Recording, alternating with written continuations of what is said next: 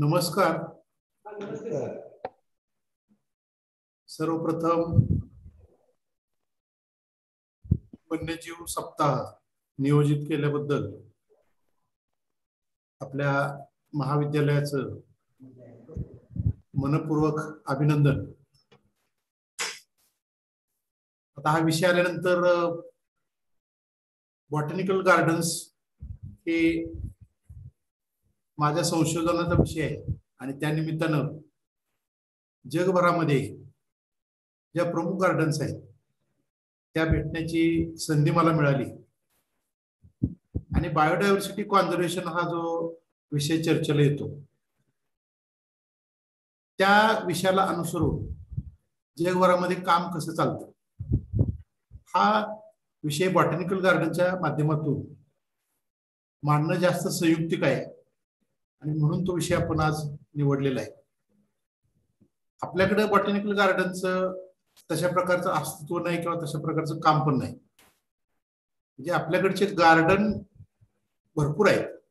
पण botanical garden आहेत त्यांची अवस्था फार बिकट आहे. आणि त्याला कारण आहे त्याचं एक फंडिंगचा भाग किंवा त्याच्याविषयी प्रॉपर केअर घेतली जात नाही. अशा बऱ्याच गोष्टी आहेत. परदेशामध्ये बॉटॅनिकल गार्डन हे फार मोठं सेंटर मानलं जातं. म्हणजे अगदी चीनमध्ये मी बघितलेलं आहे की गार्डनला अगदी एखाद्या विद्यापीठासारखा दर्जा आहे. आणि त्याच्यामध्ये डायरेक्टर किंवा सायंटिस्ट पोस्ट पण आहेत. तशी दुर्दैवानं बॉटनिकल गार्डन भारतामध्ये नाही. त्यामुळे हे क्लायमेट चेंजच्या आपल्या आजच्या क्रायसिसमध्ये बॉटनिकल गार्डन हा फार मोठा रोल प्ले करते. जगभरामध्ये. ज्या वनस्पती दुर्मिळ होत चाललेल्या आहेत त्याचं एक जर प्लाझमचं सेंटर म्हणून बॉटनिकल गार्डनचं आपल्याला उदाहरण देते. आता स्लाइड शो मधून हे ज्या गार्डनला मी ऍक्च्युली व्हिजिट केलेले आहे त्या गार्डन तुम्हाला दाखवायचं.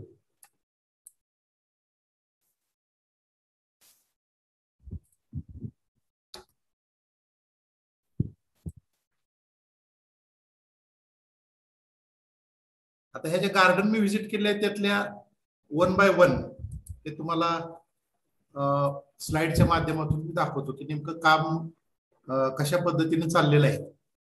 आणि जगभरामध्ये हे नेमकं काम कसं चालतं. आता ह्यामध्ये जगातल्या बहुतेक प्रमुख गार्डन जे आहेत म्हणजे आफ्रिका रिजन मला अजून व्हिजिट करता आलेलं नाही. बाकी बऱ्यापैकी ज्या मेन गार्डन्स आहेत म्हणजे आमचे बॉटनीचे अभ्यासक आहेत त्यांच्या दृष्टीनं प्रमुख गार्डन जे आहेत त्या व्हिजिट करण्याची मला संधी गेली. आता एक एक गार्डन आपण बघूया. आणि गार्डन बघत असताना आपल्याला एक अशी अनुभूती घ्यायची आहे की नेमकी सुरुवात कुठून झाली गार्डनची त्याचा नेमका इतिहास काय? आणि बॉटनिकल गार्डनची डेफिनेशन काय? आता हे जे बॉटनीचे विद्यार्थी आहेत त्यांना ते लक्षात येतं. पण बाकीचे जे विद्यार्थी आहेत की त्यांचं बॉटनीचा काही संबंधच नाही. त्यांना त्याची व्याख्या माहीत असणं गरजेचं आहे. Botanic gardens are institutions holding documented collections of living plants for the purposes of scientific research conservation display and education आता हे सुद्धा भारतामध्ये बऱ्याच लोकांना समजून सांगण्याची गरज आहे की बॉटनिकल गार्डन म्हणजे नेमकं काय? झाडं लावणं झाडं वाढवणं ह्यालाही बॉटनिकल गार्डन म्हणत नाही आणि botanical garden conservation international BGCI म्हणून एक लंडनला मोठी संस्था आहे. त्या संस्थेनं ही तयार केलेली डेफिनेशन आहे. त्याच्यामध्ये सायंटिफिक रिसर्च व्हायला पाहिजे कॉन्झर्वेशन पण व्हायला पाहिजे वेळच्या वेळी त्याची डिस्प्ले व्हायला पाहिजे प्रदर्शन ज्याला म्हणतो आपण. आणि सर्वात महत्वाचं काय तर एज्युकेशन आता भारतामध्ये जर तुम्ही अवस्था बघितली तर सगळ्यात शेवटून जर मंत्रिमंडळ किंवा क्रम लावायचे म्हणजे पॉलिसीचे तर त्याच्यामध्ये पर्यावरण हा एक विषय येतो. एज्युकेशन हा एक विषय येतो.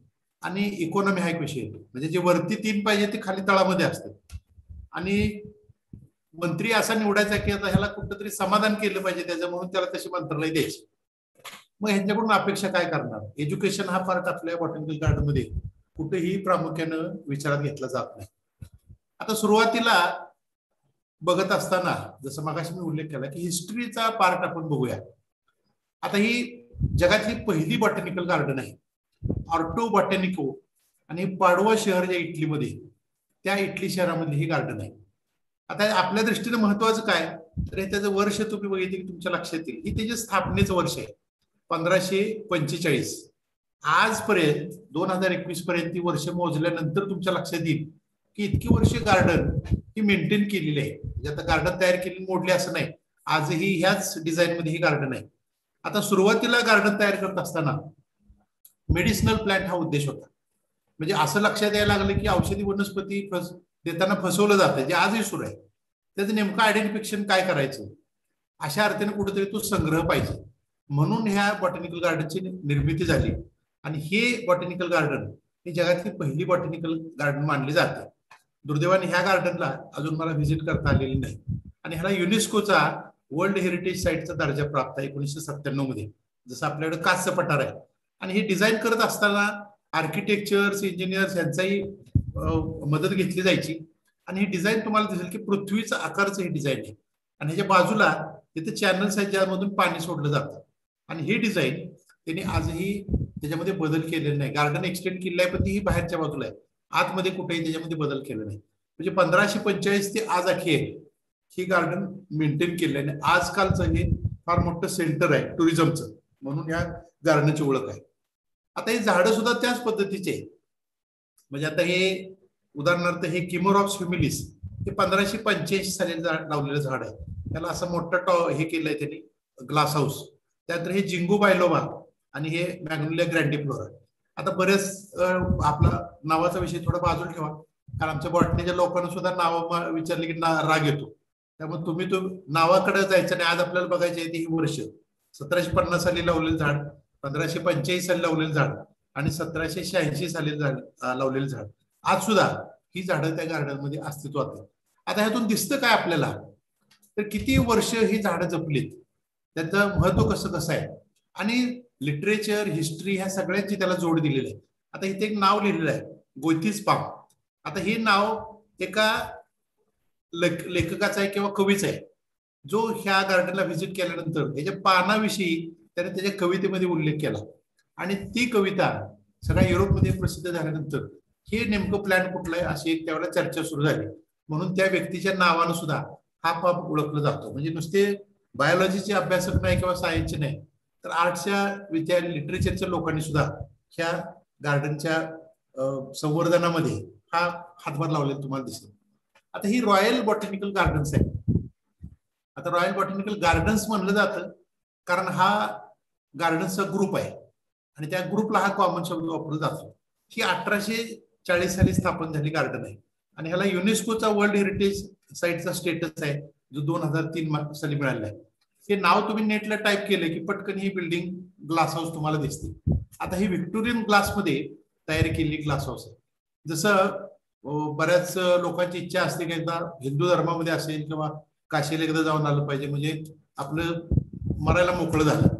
तसं बॉटनीचे आमचे जे अभ्यासक आहेत त्या प्रत्येकाची इच्छा असते की बॉटनिकल गार्डन एकदा बघितली पाहिजे.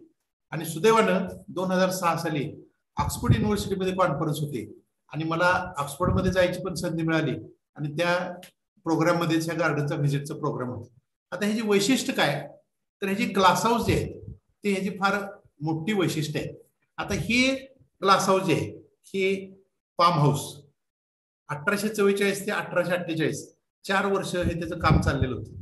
हे टेम्परेट हाऊस अठराशे साठ ते अठराशे अठ्ठ्याण्णव हे एवढी वर्ष एवढं बांधकाम याचं सुरू होतं. आणि हे आल्पाईन हाऊस ज्या वर्षी मी गेलो त्याच वर्षी हे तयार झालं. आणि हे प्रिन्सेस ऑफ वेल्स कॉन्झर्वेटरी आता हे करण्यामागचा उद्देश लक्षात घ्या. जगभरामधून जिथे जिथं ह्या लोकांची सत्ता होती तिथून त्यांनी प्लॅन गोळा करून नेले. पण प्लॅन गोळा करून नेल्यानंतर आपला एक फार मोठा गैरसमज आहे की झाड आणून लावायचं आणि त्याला रोजच्या रोज खचून पाणी घालायचं. बरीचशी झाडं तिथली मरून जातात. मग त्याची रिक्वायरमेंट काय त्याला टेम्परेचर ह्युमिडिटी मॉइश्चर सॉइल काही अभ्यास करायचा नाही. आणि त्याचा परिणाम काय होतो तरी झाडं जगत नाही त्यामुळं जसे रिजन्स आहेत समजा आफ्रिकन रिजन असेल तर तिथले पाम कसे वाढवायचे? टेम्परेट रिजन असेल जसं हिमालयाचं रेंज आहे तिथली कशी वाढवायची? त्यानंतर अल्पाईन झोन मधले कसे वाढवायचे? आणि सगळेच प्लॅन एकाच ग्लास हाऊसमध्ये कसे वाढवायचे? आतल्या पद्धतीनं मायक्रो क्लायमेटिक झोन तयार करता येतील का? अशा उद्देशानं ह्या चार ग्लास हाऊसची निर्मिती झालेली आहे. आणि ह्या ग्लास हाऊसमध्ये हे फार्म हाऊस आहे. आता याचा इतिहास सुद्धा फार रंजक आहे. म्हणजे आता मी बॉटॅनिकल गार्डनकडे बघत असताना त्याचा इतिहास सुद्धा मी बघितलेला आहे की कशा पद्धतीने हे ग्लास हाऊस उभे राहिले. आता हे डेसिमस बर्टन आणि रिचर्ड टर्नर हे दोघांचं त्याच्यामध्ये कॉन्ट्रीब्युशन आहे. हे त्या ग्लासमधले आणि जो तो लोखंडीचा जो काही स्ट्रक्चर असेल तो करण्यामध्ये ह्या लोकांचा फार मोठा रोल असतो. आता इथं त्याचा आकार जर तुम्ही बघितला तर तुम्हाला आकार दिसेल जहाज उलट केल्यासारखं.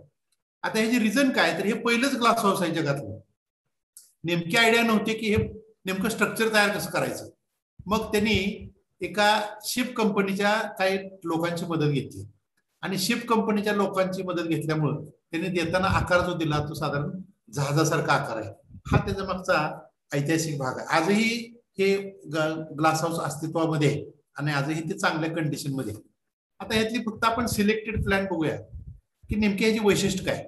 आता हे जे प्लॅन्ट आहे हे इन सिप्लॉटॉस अटेन्स्टिन आहे आता खालची ओळ वाचले तुमच्या लक्षात येईल. Oldest pot plant in the world planted in seventeen seventy five सतराशे पंच्याहत्तर साली लावलेलं झाड हे आणि ह्याची गिनीज बुक ऑफ वर्ल्डमध्ये नोंद आहे की जगातलं सगळ्यात जुनं झाड जे कुंडीमध्ये आजही अस्तित्वात आहे. आता त्याला असा साधारण बॉक्स केलेलं आहे आणि त्या बॉक्समध्ये हे झाड वाढलेलं आहे. तुमच्या लक्षात येईल की त्याला असे सपोर्ट दिलेले आहे. हे झाड त्याने अजून कुंडीतनं काढलेलं आहे सतराशे पंच्याहत्तर ते दोन हजार एकवीस एवढी वर्ष हे झाड त्याने जतन करून ठेवलेले आहे. आणि त्या गार्डनमध्ये काही ठराविक झाडांसाठी वेगळी टीम काम करते. त्याने तेवढंच फक्त झाडाचं काम करायचं.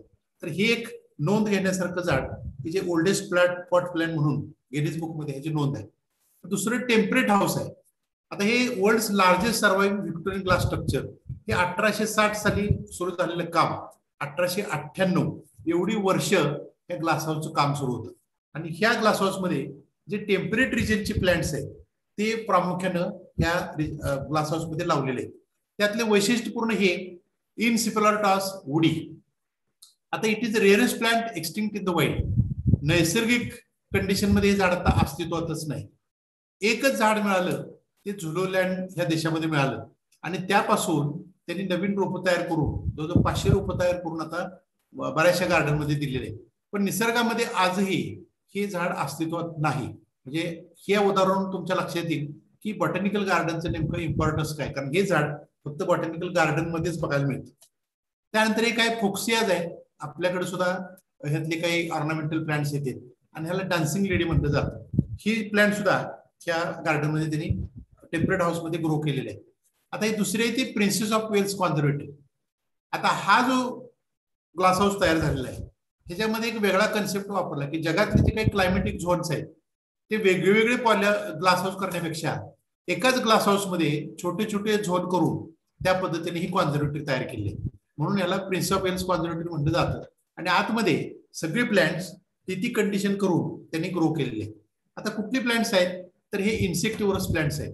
आता आपल्या अभ्यासक्रमामध्ये ड्रॉसेरा प्लांट आहे जे कीटक भक्षी वनस्पती म्हटलं जातं.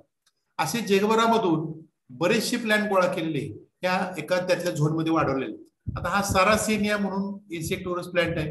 हा ड्रॉसेरा यातले काही स्पेसिस तुम्हाला कासला पण बघायला मिळतील. पिंग्युक्युला ग्रँडिफ्लोरा आणि डार्लिंगटोनिया कॅलिलॉनिका हे सगळे कीटक भक्षी वनस्पती म्हणून ओळखले जातात. याला अतिशय टिपिकल कंडिशन प्रोव्हाइड करायला लागते. नाहीतर हे झाड अजिबात वाढत नाही. दुसरं डायोनिया मसिपुला आता व्हिनस फ्लाय ट्रॅप एक इंटरेस्ट म्हणून थोडस नेटला सर्च केले तुमच्या लक्षात येईल की ह्याचं मेकॅनिझम कसं आहे. इन्सेक्टोरस प्लांटचं वैशिष्ट्य काय? आता ह्याच झाडाचं जर तुम्ही बघितलं तर इथं तुम्हाला दिसेल की ह्याचे दोन पानं आहेत आणि जसं आपण हात हाताचे आपण पंजे असे बोट एकमेकामध्ये फिक्स करतो तशा पद्धतीनं हा मेकॅनिझम असतो. त्याच्या आतल्या बाजूला छोटे छोटे हेअर्स असतात आणि ते सेन्सर सारखं काम करतात. ज्यावेळेला हा कीटक आतमध्ये जाईल आणि त्या हेअरला स्पर्श करेल त्यावेळेला ही दोन पान दोन्ही पानं जसे आपण हात बोट झाकतो तसे पूर्ण मिटून जातात आणि तो इन्सेक्ट डायजेस्ट केला जातो. ह्या प्लॅनचं वैशिष्ट्य काय केला? जमीन मधून पाहिजे ते घटक मिळत नाही. म्हणून हे कीटक भक्षी वनस्पती आहेत. हे सुद्धा टिपिकल कंडिशनलाच हे प्लॅन्ट वाढतं. याला व्हेनस फ्लाय ट्रॅप सुद्धा म्हटलं जातं. हे निपॅन्थस मॅक्झिमा याला पिक्चर आपण नावानं ओळखतो. आणि आपल्या सुद्धा आसामच्या वगैरे रेंजमध्ये ही प्लांट्स बघायला मिळतात. आता इथं सुद्धा हे पिक्चर जे आहेत हे इन्सेक्ट पकडायचंच काम करते. म्हणजे ह्याच्यामधून आज जाऊन इन्सेक्ट कॅप्चर केला जातो. जसे इथे तुम्हाला हे पिक्चर दिसते अर्थात हे लिपचं मॉडिफिकेशन आहे. तिथं पिक्चर जाऊन हा इन्सेक्ट ट्रॅप केला जातो. आणि ते एन्झाईम सोडून इन्सेक्ट डायजेस्ट केला जातो. हे इन्सेक्टोरस प्लांट्स आहेत. आता त्याच ह्याच्यामध्ये हे झोन आहे तो कॅक्टस आहे. आता कॅक्टस तुम्हाला माहीत आहे की हे जिथं वाळवंटी प्रदेश असेल तिथं वाढतात आता हे बरेचसे साऊथ आफ्रिका साऊथ अमेरिका तिथून हे गोळा केले सगळे कॅक्टसचे नमुने. हा कॅक्टसचा असणारं सेक्शन आहे. त्यानंतर हे वॉटर लिली हाऊस आहे. आता हे तुमच्या दृष्टीने आता मी ज्यावेळेला म्हणतो की काही अमेझिंग प्लांट्स जगामध्ये अस्तित्वात आहेत. त्यातलं हे एक अमेझिंग प्लांट आहे. याला व्हिक्टोरिया अमेझोनिका म्हटलं जातं. आता ह्याचं वैशिष्ट्य काय? तर ह्याचं पान अतिशय मोठ्या साईजचं असतं. लार्जेस्ट लीफ इन डायमीटर म्हणून या प्लांटची ओळख आहे. आणि ह्याचं वैशिष्ट्य आहे की बरेच तुम्हाला नेटला हे नाव सर्च केले तुम्हाला दिसेल. की ह्या लिपवरती पंचेचाळीस पन्नास किलोचं वेट सुद्धा हे पेलू शकतं. मग बऱ्याच गार्डनमध्ये फॅशन आहे की छोटी मुलं त्याच्यावरती बसवायची आणि त्याचे फोटो काढायचे. ब्राझीलमध्ये अमेझॉन खोऱ्यामध्ये हे नैसर्गिकरित्या प्लॅन मिळतं. आपल्याकडे सुद्धा आता शिवाजी युनिव्हर्सिटीमध्ये बेंगलोरला आंध्राच्या काही युनिव्हर्सिटीमध्ये हे झाडं वाढवायचा प्रयत्न सुरू आहे. आता माझ्या कॉलेजच्या गार्डनमध्ये सुद्धा मी परवा रोप आणून लावलेले आहे आता फक्त किती वेळ लागतोय मला माहीत नाही किंवा जगते का नाही ते माहीत नाही. पण एक अमेझिंग प्लॅन्ट म्हणून ह्या प्लॅन्टचा उल्लेख करता येईल. लार्जेस्ट लिप इन डायमीटर या आकारावरून तुमच्या लक्षात येईल. आता फोटोवर तो अंदाज येत नाही किती मोठा आहे. पण अतिशय मोठ्या साईजचं पान हे प्लांटचं असते. त्याला अमेझिंग प्लांट म्हणून आपल्याला एक संदर्भ घेता येईल. त्यानंतर अल्पाईन हाऊस म्हणजे अल्पाईन रिजन जो आहे त्या रिजनमध्ये वाढणारी प्लॅन्ट्स ह्या ह्याच्यामध्ये ग्रो केले आहेत. म्हणजे त्याचे वैशिष्ट्य जे आहे की हे पूर्णपणे ऑटोमॅटिक कंट्रोल्ड आहे. तिथली मॉइश्चर टेम्परेचर ह्युमिडिटी हे सगळं ऑटोमॅटिकली कंट्रोल केलं जातं. आणि ह्याच्यामध्ये साधारण दोनशे प्लॅन्ट त्यांनी तयार केलेले ते रोटेशन ते डिस्प्लेला ठेवतात कारण दोनशे प्लॅन्ट बसतील एवढी आज जागा नाही. पण ते प्लॅन्ट रोटेशन जसे जसे फ्लॉवरिंगला येतील तसं ह्या पूर्ण ग्लास हाऊसमध्ये ते डिस्प्ले केले जाते आता ही त्यातली काही प्लॅन्ट्स आहेत की त्याला अल्पाईन झोनच क्लायमेट लागतं. मॉइश्चर टेम्परेचर ह्युमिडिटी ही मेंटेन करायला लागते. अदरवाईज ही प्लॅन्ट सर्वाईव्ह होत नाही. त्यामुळे हे सुद्धा एक रिजन कसा असावा? त्याप्रमाणे तयार केलंय. आणि अल्पाईनावच्या बाजूला एक रॉक गार्डन आहे. आता आपल्याकडे सुद्धा ही फॅशन आहे की रॉक गार्डन किंवा रॉकरी करायची. पण रॉक गार्डनचा अर्थ ही ठराविक टाईपची आता आपल्याकडे रॉक गार्डनचा अर्थ होतो म्हणजे दगड गोळा करायचे. एका ठिकाणी ढीग लावायचा त्याच्यामध्ये झाडं लावायची. अशा अर्थाने ते रॉक गार्डन तयार होत नाही.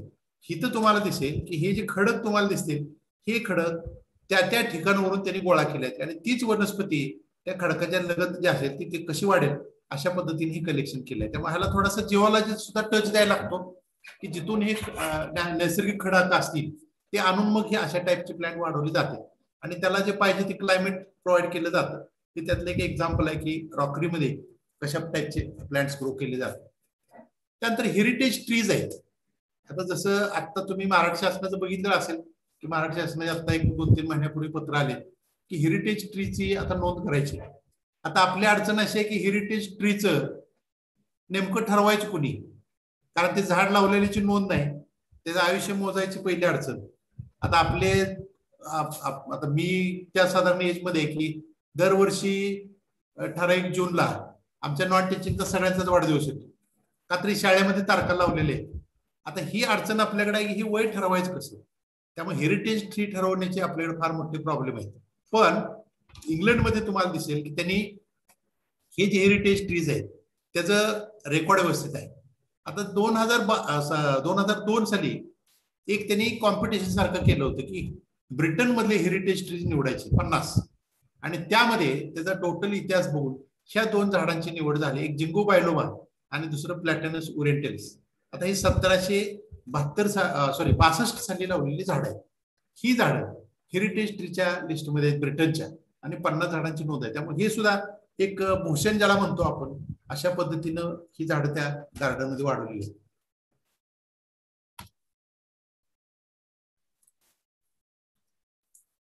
त्यानंतर आर्बोरिटमचा सेक्शन आहे. आर्बोरिटममध्ये थोडक्यात जे मोठे ट्रीज आहेत त्यासाठी वेगळी स्पेस प्रोव्हाइड करायला लागते आणि त्याला जास्त जागा लागते. आता आपल्याकडे सुद्धा फॅड आहे नक्षत्रवनचं. बरीच लोक माझ्याकडे येतात आम्हाला नक्षत्रवन करायचे. जागा किती आहे? दोन गुंठ. ऍक्च्युली याला जागा पाहिजे दोन ते तीन एकर. त्याच्यात नक्षत्रवन तयार होत नाही त्यामुळे आर्बोरिटममध्ये हे मोठी ट्रीज लावली जातात. आता ह्या आर्बोरिटममध्ये साधारण चौदा हजार ट्रीज आहेत आणि दोन हजार त्याच्या स्पीसीस आहेत. आणि यातलं हे झाड जे तुम्हाला दिसते हे सिकुया सेम्पर व्हायवन्स आहेत.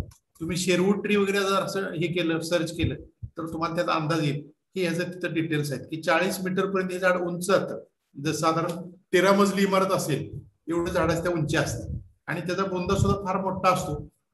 कॅलिफोर्नियामध्ये हे नैसर्गिकरित्या झाड आहेत. आणि त्याच्या खोडामधून असे कट करून मधून असे बारके टेम्पो वगैरे सुद्धा जाऊ शकतात. एवढं त्याचा मोठा डायमीटर असतो. हे सुद्धा एक अमेझिंग ट्री असणारे प्लांट्स आहेत. आणि मगाशी जो मी उल्लेख केला की प्रत्येक गार्डनमध्ये एज्युकेशन हा पार्ट प्रामुख्यानं जास्त स्ट्रेस केला जातो. आता सुद्धा मी बघितलेलं आहे की कोरोनाच्या काळामध्ये बॉटॅनिकल गार्डन बंद केले गेले नव्हत्या. युरोपमधल्या. तिथं एज्युकेशन हा पार्ट सुरू होता. त्यामुळे एज्युकेशनला फार महत्त्व दिलं जातं. एज्युकेशन ऑफिसर असतो. स्टोरी स्टोरी टेलरच्या पोस्ट आहेत. गोष्टी वगैरे सांगितल्या जातात. आणि ह्या साधारण काय ऍक्टिव्हिटी आहे? की कशा पद्धतीनं मुलांना आकर्षित करण्यासाठी त्या ऍक्टिव्हिटी घेतल्या जातात. आता ही गार्डन आहे ऑक्सफर्डची. ऑक्सफोर्ड युनिव्हर्सिटी त्याला University of Oxford botanical garden म्हटलं जातं. ह्याची सुद्धा स्थापना आहे सोळाशे एकवीस सालची. आणि हे त्यातली काही एक्झाम्पल्स आहेत. आता हे दोन हजार सहा साली त्याच ऑक्सफोर्ड युनिव्हर्सिटीमध्येच मी कॉन्फरन्ससाठी गेलो होतो. आणि ह्यातले काही दुर्मिळ असणारे प्लॅन्ट्स आहेत त्यामध्ये बऱ्याच प्लॅन्टचं कलेक्शन हे ऑक्सफोर्ड युनिव्हर्सिटीमध्ये सुद्धा आहे. आणि ऑक्सफोर्ड युनिव्हर्सिटीला लागूनच हार्कोर्ट आर्बोरिटम हा एक मोठा आर्बोरिटमचा सेक्शन आहे. आता हे वैशिष्ट्य लक्षात घ्या की याला पार्श्वभूमी महायुद्धाची महायुद्धामध्ये लक्षात आलं की बरीचशी झाडाचा नुकसान होऊ शकतं. म्हणून तिथल्या काही धर्मगुरूंनी असं ठरवलं की झाडं आपली ब्रिटनमधली जी झाडं आहेत ती निदान कुठेतरी एक ठिकाणी वाचली पाहिजे. म्हणून त्यांनी एक जागा तयार केली त्यानं म्हणजे कन्व्हिन्स केलं त्या लोकांनी सुद्धा ती जागा दिली. आणि त्यांची जी फॅमिलीचं नाव आहे हारकोर्ट ती नाव ह्या लोकेशनला दिलेलं आहे. जवळजवळ ऐंशी एकर जागा असणारी ही लोकेशन म्हणजे ऑक्सफोर्ड युनिव्हर्सिटी ऑक्सफोर्ड हे शहर फार मोठं प्रसिद्ध आहे. त्यामध्ये अशा टाईपचे मोठे ट्रीज की जे जन्मानं इंग्लंडमधले आहेत. ते वाचवण्यासाठी प्रयत्न केले गेले. आणि आज सुद्धा ते आर्बोरिटम हे अस्तित्वामध्ये आता दुसरी गार्डन आहे ती नेदरलँडचे हार्टस बॉटॅनिकस आता हार्टस बॉटॅनिकस हे लायडन शहर जे आहे नेदरलँडमध्ये तिथं असणारी ही गार्डन आहे. आणि ह्याची स्थापना आहे ते पंधराशे नव्वद सालची आता ही सुद्धा गार्डन एक प्राचीन गार्डन म्हणून मानली जाते.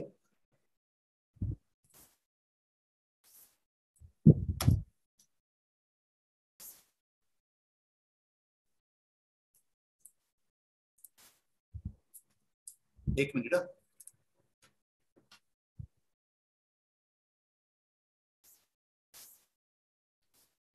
आता ह्यामध्ये काही महत्त्वाचे जे आहेत म्हणजे आमच्या बॉटनीच्या दृष्टीनं की आमच्या सगळ्यांच्या तोंडामध्ये नाव असतं लिनेस कार्लिनेस. कार्लिनेस सतराशे पस्तीस ते सतराशे सदतीस दोन वर्ष हार्टस बॉटॅनिकल गार्डनचे डायरेक्टर होते. आणि त्या दोन वर्षामध्ये या गार्डनचे त्यांनी बरेचसे चेंजेस केले. आता हा कार्लिनेसचा त्या गार्डनमध्ये असणारा पुतळा आहे. आणि बरोबर त्या गार्डनच्या समोर हे त्यांचं निवासस्थान होतं जे आज सुद्धा त्यांनी जतन करून ठेवलेलं आहे. ह्या गार्डनच्या कॉन्ट्रीब्युशनमध्ये हे लिनेसचं एक फार मोठं कॉन्ट्रीब्युशन मानलं जातं. त्यानंतर ह्या गार्डनमध्ये काही महत्वाची झाडं आहेत की ज्यांचं वय शंभरपेक्षा जास्त आहे. ह्यामध्ये ही खाली नावं दिली आहेत. रिलिओडेंड्रॉन टुलिफोरा गिंगोबायलोवा लॅबोर्नम आणि ही ती झाडं आहेत तीन की ज्यांचं वय हे शंभरपेक्षा जास्त आहे. आता ह्या गार्डनला मी दोन हजार अकरा साली व्हिजिट केली होती. आणि ही जी व्यक्ती आहे ही ग्रास मधले जगातले फार मोठे तज्ज्ञ होते. दोन वर्षापूर्वी त्यांचं निधन झालं डॉक्टर जे वेल्ड आणि त्यांचं माझं फार म्हणजे रिलेशन पण होते आणि अगदी पित्रतुल्य असल्यासारखं व्यक्तिमत्व होतं ते. त्यांनी मला ही सगळी गार्डन फिरून दाखवले आणि त्यांनी बऱ्याचशा ऐतिहासिक गोष्टी सांगितल्या की ज्या लिटरेचरमध्ये कुठंच नाही. जसं लिनेसचा मी मगाशी उल्लेख केला की लिनेस डायरेक्टर होते. तिथे येण्याची पार्श्वभूमी काय? अशा बऱ्याच गोष्टी त्यांच्याकडून मला त्यावेळेला तिथे माहिती मिळाली. आता मी हिस्ट्रीचा पार्ट जास्त स्ट्रेस का देतोय? की आमचे बॉटनीचे शिक्षक ज्यावेळेला शिकवते त्यावेळेला झाडांचं सांगत असताना त्याचे हिस्टॉरिकल पार्ट सांगितला तर थोडा ते अपील होतो जास्त. म्हणजे त्यांच्या लक्षात पण राहत. आता ह्यामध्ये ह्या व्यक्तीचा आपल्याला एक उल्लेख करता येईल. ही आहेत व्हान सिबॉल्ड. व्हान सिबॉल्ड हे ऍक्च्युली डॉक्टर होते. त्यांची नेमणूक झाली जपानला. आणि जपानला नेमणूक झाल्यानंतर त्यांना आवड होते झाडांची वनस्पती त्यानंतर प्लॅ अॅनिमलचे नमुने सगळे त्यांनी कलेक्शन करायचे. आणि ते एवढे एकरूप झाले होते की त्यांनी तिथून बरेचसे नमुने हे माघारी नेदरलँडला पाठवले. आणि हा ग्रहस्थ तिथंच राहिला तिथल्याच एका मुलीशी लग्न केलं आणि पूर्ण आयुष्य त्यांनी तिथं म्हणजे घालवायचा प्रयत्न केला. पण जपान सरकारच्या लक्षात आलं की काहीतरी स्मगलिंग करते आपले सॅम्पल नेदरलँडला जायला लागले. जपान सरकारने त्यांना परत काढून टाकलं. पण त्या काळामध्ये त्यांनी जे काही नमुने पाठवले होते बिया पाठवले असतील किंवा झाडं असतील त्याचा एक सेक्शन या गार्डनमध्ये तयार केलेला आहे. आणि ही जी झाडं जी तुम्हाला दिसतील ती सगळी ती झाडं आहेत. आणि त्या सेक्शनला जॅपनीज गार्डन असं नाव दिलेलं आहे जे एकोणीसशे नव्वद साली स्थापन झाले. आणि ही व्यक्ती आहे तो व्हान्सिबॉल्ड आहे. ह्याच गार्डनमध्ये इन्सेक्टिव्हरस प्लॅन्टचं निपॅन्थस म्हणून जो जिनस आहे त्या निपॅन्थस जिनसचं जगात सगळ्यात मोठं कलेक्शन की ह्या गार्डनमध्ये. सगळे पिक्चर प्लांट्स आहेत. फक्त त्यातलं एक वैशिष्ट्य हे फक्त मी तुम्हाला प्लॅन सांगेन की हे प्लॅन आता ही सगळी प्लॅन्ट इन्सेक्टिव्हरस आहेत. कीटक बक्षीस म्हणले जातात पण हा एकच स्पेसिस आहे जगातला. जो कीटक बक्षी नाही तो शाकाहारी आहे. आणि म्हणून हे प्लॅन हे वरती आदांतरी नसतं तर जमिनीच्या लगत त्याचे कप तयार होते. आणि इथं वरून जो काही पाला पडत असेल ठराविक झाडांचा तो इथं गोळा केला जातो. आणि त्यातून हे स्वतःचा उदरनिर्वाह करतं. त्यामुळे संपूर्ण जगामध्ये शाकाहारी वनस्पती डिपेंडन्सी कुठली? तर ही आहे. आणि ते त्या गार्डनमध्ये त्याने अतिशय चांगल्या पद्धतीने वाढवलेले आहे. त्यानंतर काही युनिव्हर्सिटीचा स्वित्झर्लंडला मला जायचा प्रसंग आला. आणि स्वित्झर्लंडमध्ये गेल्यानंतर तिथल्या मी थोडस माहिती घेतली होती आधी की युनिव्हर्सिटीची बॉटॅनिकल गार्डन बघायची. आणि युनिव्हर्सिटीला मी पत्रावर पण केला होता. आणि तिथे गेल्यानंतर लक्षात आलं की युनिव्हर्सिटीला सुद्धा एवढं मोठं जगातलं कलेक्शन असू शकतं जे आपल्या भारतामध्ये कुठल्या सगळ्यात मोठ्या गार्डनला सुद्धा नाही. नॅशनल गार्डन सुद्धा ते काही युनिव्हर्सिटीच्या गार्डनला आहे. आणि हे त्यांनी तयार केलेली हे ग्लास पण नाही थोडं वेगळं मटेरियल त्यांनी वापरलेलं आहे. आणि त्याचे काही फक्त ठराविक तुम्हाला मी दाखवतो. हे तुम्हाला जास्त सांगणं मला महत्वाचं वाटतं. त्याच्यामध्ये वेल्विटशिया मिरॅबिलिस. वेल्विटशिया ह्या झाडाचं वैशिष्ट्य काय तर हे आफ्रिकेच्या नामिबिया वगैरे त्या रिजनमध्ये वाळवंटामध्ये हे झाड वाढतं. आता याचं वैशिष्ट्य काय? तर ज्यावेळेला झाडाची ग्रोथ सुरू होईल त्यावेळेला त्याला दोन पानं येतात. किती दिवस राहतात दोन पानं? शेवटपर्यंत दोनच पानं राहतात. आणि झाड किती दिवस राहील? कदाचित दोनशे वर्ष तीनशे वर्ष. दोनशे तीनशे वर्ष वय असणारं झाड आणि त्याला पानं मात्र दोन. तिसरं पान त्याला अजिबात येत नाही. आणि हे ज्यावेळेला तुम्ही हे झाडा पानांची रचना बघताय त्यावेळेला तुमच्या लक्षात येईल की आफ्रिकेच्या वाळवंटामध्ये वाढणारं प्लॅन्ट पण इथं जो काही दव राहतो किंवा पाऊस पडत असेल तो ह्या पानावरून म्हणजे असं उघड जाऊन परत त्या रूटकडे आला पाहिजे. म्हणून याची पानं अशी पुढे कॉईल होते की या रूट सिस्टीमला तेच पाणी मिळावं त्यातलं पाणी वाया जाऊ नये. म्हणजे जगामधले एक हे एक अद्भुत झाड आहे की वय दोनशे वर्ष तीनशे वर्ष पानं मात्र दोन. तिसरं पान त्याला येत नाही आणि खाली खोड पण तयार होत नाही.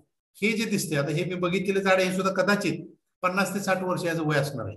एवढं मोठं झाड तिथं होतं. त्यामुळे हे एक अद्भुत वनस्पती जे आपल्या निसर्गामध्ये अस्तित्व आहे अस्तित्वात आहे वेल्वेटशिया मिरॅबिलिस. त्यानंतर तुर्कीमधली जी गार्डन आहे तुर्कीमध्ये मला जवळजवळ सहा वेळा जायची संधी मिळाली. त्यामध्ये ही इस्तंबूल शहरामध्ये असणारी गार्डन आहे. आता हे आपल्या दृष्टीने महत्वाचं का? तर आपण आता बघतोय की सगळ्या भारतामध्ये रोडची कामं सुरू आहेत. सगळ्या भारतामध्ये रोडच्या बाजूचं झाड आहे कोणी काही शिल्लक ठेवलेलं नाही. परत लावायची का नाही त्याच्यावरती कुठली चर्चा नाही. पण ही एक जगातलं सगळ्यात चांगलं उदाहरण आहे की एक जो एरिया जो टाकाऊच आहे तो तो एरियामध्ये गार्डन कशी डेव्हलप करता? येईल आता हे तुम्हाला दिसेल की असे मोठे मोठे स्क्वेअर कोणी रोड तयार केले आता इथे इथे एक झोन दिसतोय हा एक झोन आहे हा एक झोन आहे आणि हा एक झोन आहे. असे चार झोन्स आहेत जिथं रस्त्यासाठी हे सगळं पूर्ण अक्षरशः खोदून टाकलं होतं ते. एका व्यक्तीनं ही जागा कराराने घेतली. दोन हजार पंचवीस सालपर्यंत त्याचा करार आहे. पंच्याहत्तर वर्षाचा करार होता.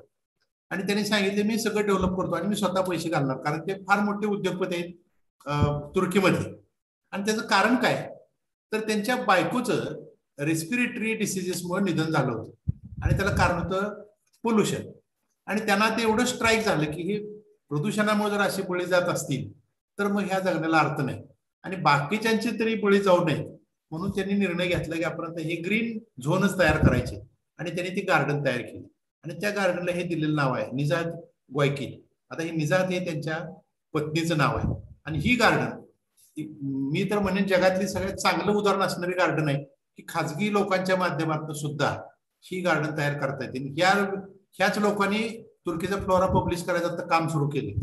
आता हे ते स्वतः आहेत आजही ते अस्तित्वात आहेत त्यांचं वय आता काहीतरी पंच्याण्णवच्या दरम्यान आहे. ते स्वतः गार्डनमध्ये रोज येतात सगळा आढावा घेतात.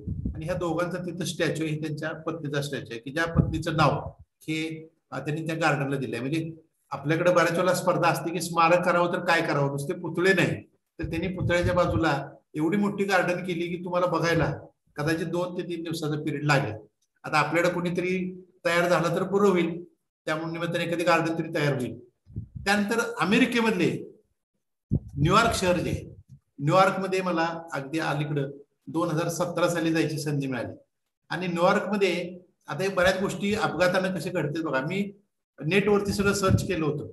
आणि न्यूयॉर्क बॉटॅनिकल गार्डन म्हणून फार मोठी बॉटॅनिकल गार्डन आणि त्याच गार्डनवरती कॉन्सन्ट्रेट केल्यामुळं माझं दुसरीकडे लक्ष नव्हतं. पण मी तिथल्या हॉस्टेलला बुकिंग केलं होतं. तिथं युथ हॉस्टेल आहे आता युथ हॉस्टेल याचा अर्थ वयाचा प्रश्न नाही तो. आपण सुद्धा इंटरनॅशनल तिथे जाऊ शकतो. आणि त्या रूममध्ये गेल्यानंतर एक ग्रस्त त्या रूम दोन दोन बेडची रूम ते ग्रस्त सकाळी उठल्यानंतर आमची ओळख झाली. ते अमेरिकेतलेच होते पण ते होते उझबेकिस्तानचे. पण गप्पा मारताना मग ओळख झाली आणि ते म्हणले मी तरी कुठं अमेरिका बघितली? मी आता न्यूयॉर्क बघायला आलो आणि मग त्यांना मी सांगितलं की मला गार्डन बघायचे त्यांनी सांगितलं मला लोकेशन सांगा. म्हणजे असं न्यूयॉर्क बॉटॅनिकल गार्डन काउंटरला गेलो त्यांना सांगितलं गार्डन बघायचे आणि त्यांनी डाऊन टाऊन आणि अपटाऊन असे ट्रेन असते जसं आपलं खालची गल्ली वरची गल्ली असते तसं. आणि त्यांनी बरोबर आम्हाला उलटी दिशा सांगितली. आम्ही त्या मेट्रोला गेलो तिकीट काढली आणि मेट्रोनं उतरलो. आणि बाहेर आल्यानंतर माझ्या लक्षात आलं की न्यूयॉर्क बॉटॅनिकल गार्डनचं नावच नाही. आपण दुसऱ्याच कुठल्या तरी बॉटॅनिकल गार्डनला आलोय. म्हटलं ठीक आहे आपण उद्या बघूया दुसरी गार्डन आणि ही ती गार्डन आहे ब्रुकलिन बॉटॅनिकल गार्डन ज्याची स्थापना अठराशे चाळीस सालची. आता ह्याच्यामध्ये कॉन्झर्वेटरीज आहेत. त्याच्यामध्ये स्टायनहर्ड कॉन्झर्वेटरी ही एकोणीशे अठ्ठ्याऐंशी साली स्थापन झाली. आता युरोपमध्ये किंवा ब्रिटनमध्ये आता या बऱ्याचशा गार्डन ह्या शासनाच्या अंतर्गत येत नाहीत. त्याचे चॅरिटी आहेत किंवा त्याचे मोठे ग्रुप्स आहेत. आणि हे जाहीरपणे आवाहन करते की आम्हाला असं असं ग्लास हाऊस उभं करायचे ग्लास हाऊसची दुरुस्ती करायची क्यू गार्डनची दुरुस्ती दर पंधरा वर्षाने दहा वर्षाने करायला लागते. करोडो रुपये त्याचा खर्च येतो. आणि सरळ पेपरमध्ये जाहिरात दिल्यानंतर अक्षरशः पैशांचा पाऊस पडतो. आणि काही लोक हे सरळ सगळंच खर्च करून देते आणि तिथे प्रॅक्टिस आहे की त्या व्यक्तीच त्याला नाव द्यायचं. मग हे नाव जे दिलं आहे ते त्या फॅमिलीचं नाव आहे. ज्याने हा संपूर्ण खर्च करून हे कॉन्झर्वेटिव्ह उभा केले आणि ह्यामध्ये मग वेगवेगळे झोनचे प्लॅन्स आता हे सगळा ग्रुप तुम्हाला दिसतो हे आर्किड्स आहेत. त्यानंतर इन्सेक्टोरस प्लॅन्ट्स आहेत. असे जे प्लॅन्ट की ज्याला ठराविक क्लायमेट लागतं त्यानंतर हे अतिशय दुर्मिळ असणारे प्लॅन्ट्स आहेत. हे सुद्धा आता हे आपल्याकडे टीवाय पी एस एल आमच्याकडे असतोय सायलोटोप आणि अक्षरशः गवतासारखे वाढते कारण ह्याला पूर्ण आर्टिफिशियल कंडिशन मॉइश्चर ह्युमिडिटी सगळं मेंटेन केलेलं आहे. त्यानंतर हे कॅक्टसचं झोन आहे ज्याच्यामध्ये आफ्रिकेतले काही कॅक्टस इथं वाढवलेले आहेत. त्यानंतर दुसरा जो पोर्शन आहे तो Japanese hill and pond garden आता जपानीच गार्डनचे जे काही डिझाईन्स आहेत किंवा गार्डनचं लँडस्केप करत असताना जसं आपल्याकडे मुघल गार्डन म्हणून एक टॉपिक आहे की त्याचं वेगळं डिझाईन असतं. तसं जपानमध्ये एक वेगळं डिझाईन केलं जातं चायनामध्ये एक वेगळं डिझाईन केलं जातं. आणि त्या डिझाईनमध्ये हे प्लेन एरियामध्ये ते डिझाईन करत नाही असे चढ उतार पाहिजेत पाणी पाहिजे अशा कमानी पाहिजेत ब्रिज पाहिजे आणि ही गार्डन ही जपानच्या बाहेर असणारी किंवा अमेरिकेतली पहिली गार्डन आहे की जी जपानीज गार्डन म्हणून याला नाव दिले गेले आणि ह्यामध्ये जपानचेच प्लॅन्ट्स त्यांनी पूर्णपणे ह्या रिजनमध्ये वाढवलेले आहे त्यानंतर पुढचा जो पोर्शन आहे सॉरी पुढचं जे सेंटर आहे त्यातलं म्हणजे आतलाच हा भाग आहे हे स्टाईनबर्ग व्हिजिटर सेंटर आहे. आता हे आपल्या दृष्टीनं अतिशय महत्वाचं आहे. आपण नेहमी आता शब्द वापरतोय सस्टेनेबिलिटी सस्टेनेबल म्हणजे नेमकं काय असते तर तुम्हाला ह्या बिल्डिंगच्या डिझाईन मधून लक्षात येईल. की हे डिझाईन करतानाच असं केलंय की ह्याच्यावरती गवताची लवाळ्याचे काही दुसरे वेगळे कुठे प्लॅन्ट यांनी लावलेलेच आहेत. जेणेकरून वरचा टॉप जो आहे हा याच्यामध्ये हिट सुरक्षित राहावं सगळं खालचं. आणि ह्याच्यामध्ये जे काही पाणी ते सुद्धा तिथे कॅप्चर केलं जातं. आणि ही बिल्डिंग ही अशा पद्धतीनं ही रन होते. म्हणजे ह्याच्यामध्ये तुम्हाला दिसेल की हा गवताचा पॅच आहे. ह्याचं हिटिंग कुलिंग होते. त्यानंतर हे काही साईडचे काच आहेत. तिथून solar energy thermal energy sorry solar energy वापरली जाते. आणि ह्याचं पाणी जे असेल ते परत तिथं असं सर्क्युलेट केलं जातं. म्हणजे जे काही नैसर्गिक घटक आहेत ते कशा पद्धतीनं वापरता येतील सस्टेनेबली त्यासाठी हे सेंटर तिथं ओळखलं जातं. आणि मुलांच्यासाठी जसं आता आपल्या गार्डनमध्ये मुलांच्या सोयी काय करायच्या तर तिथं घसरगुंडे आणि झोपाळे करायचे. म्हणजे मुलांची सोयी झाली असं आपल्याकडे फार मोठा गैरसमज आहे. पण त्यांनी करत असताना की अशा पद्धतीचं मी पहिले एकाच ठिकाणी बघितले ह्या गार्डनमध्ये की इथं which bird makes this sound आता इथं फक्त तुम्ही बटन दाबायचं की त्या पक्षाचा आवाज येतो. आणि हे तुम्ही टोपण उघडलं की त्या पक्षाचा फोटो दिसतो. असे बरेचसे पानं कशा असतात फळं कशी असतात फुलं कशी असतात अशा पद्धतीचे हे डिस्प्ले त्यांनी केलेले आहे आणि अतिशय मुलांना शिकवायसाठी फार सुंदर डिझाईन किंवा एक कन्सेप्ट जो आहे किंवा थीम जे आहे त्या गार्डनमध्ये वापरले आहे त्यानंतर दुसरा एक त्यातला आकर्षणाचा जो भाग आहे तो चेरी नावाचं जे जपानचे वनस्पती आहे की जे ज्यावेळेला फ्लॉवरिंगला येईल त्यावेळेला जपानमध्ये पर्यटकांचे लोंढेच्या लोंढे जातात की त्याची फुलं बघायची प्रुनस म्हणून जे प्लॅन्ट आहे ते प्लॅन्ट इथं त्यांनी लावले अतिशय सिस्टमॅटिक लावले आहे इथं अशी शहात्तर झाडं लावली आहेत त्यांनी या पद्धतीने. आणि त्याच्या बाजूला हे क्विरकस म्हणून झाड लावले आता हे आणि मी सुदैवानं मार्च महिन्यामध्येच गेलो होतो. मार्च महिनाच ह्या प्लॅन्टचा फ्लॉवरिंग पिरियड असतोय. आणि फ्लॉवरिंग बघितल्यानंतर तुमच्या लक्षात येईल त्याची नेमकी ब्युटी काय असते. म्हणजे तिथं एकदा गेल्यानंतर तुमचं मनच होणार नाही घेतलं निघून जावं. पूर्ण असं झाडाच्या झाडं भरलेली असते आणि ज्याला उत्सव म्हणतो आपण फुलांचा तसा उत्सव बघायला मिळतो. की ह्या चेरी एस्प्लांडे हे त्याला नाव दिले त्यानंतर त्याच गार्डनमध्ये शेक्सपियरचा एक सेक्शन आहे. शेक्सपियर गार्डन म्हणून. शेक्सपियरच्या लिटरेचरमध्ये बऱ्याच वनस्पतींचा उल्लेख येतो. त्या वनस्पती एकत्र करून जे शेक्सपियरचे कोट आहेत ते कोट सुद्धा त्या त्या वनस्पतीचे शेजारी हे लावलेले आहेत. त्यामुळे हा सेक्शन हा शेक्सपियरचा आहे. आणि हे सुद्धा काही ठराविक गार्डनमध्ये ही कन्सेप्ट बघितली. जसं आपल्याकडे सुद्धा एखादा चांगला लेखक असेल तर त्याच्या लिटरेचरमध्ये जे काही येतील तशा टाईपचे गार्डन होईल का नाही माहीत नाही पण हा एक चांगला कन्सेप्ट तिथं वापरलेला आहे. त्यानंतर फ्रॅग्रन्स गार्डन याला सेन्सरी गार्डन सुद्धा म्हणलं जातं.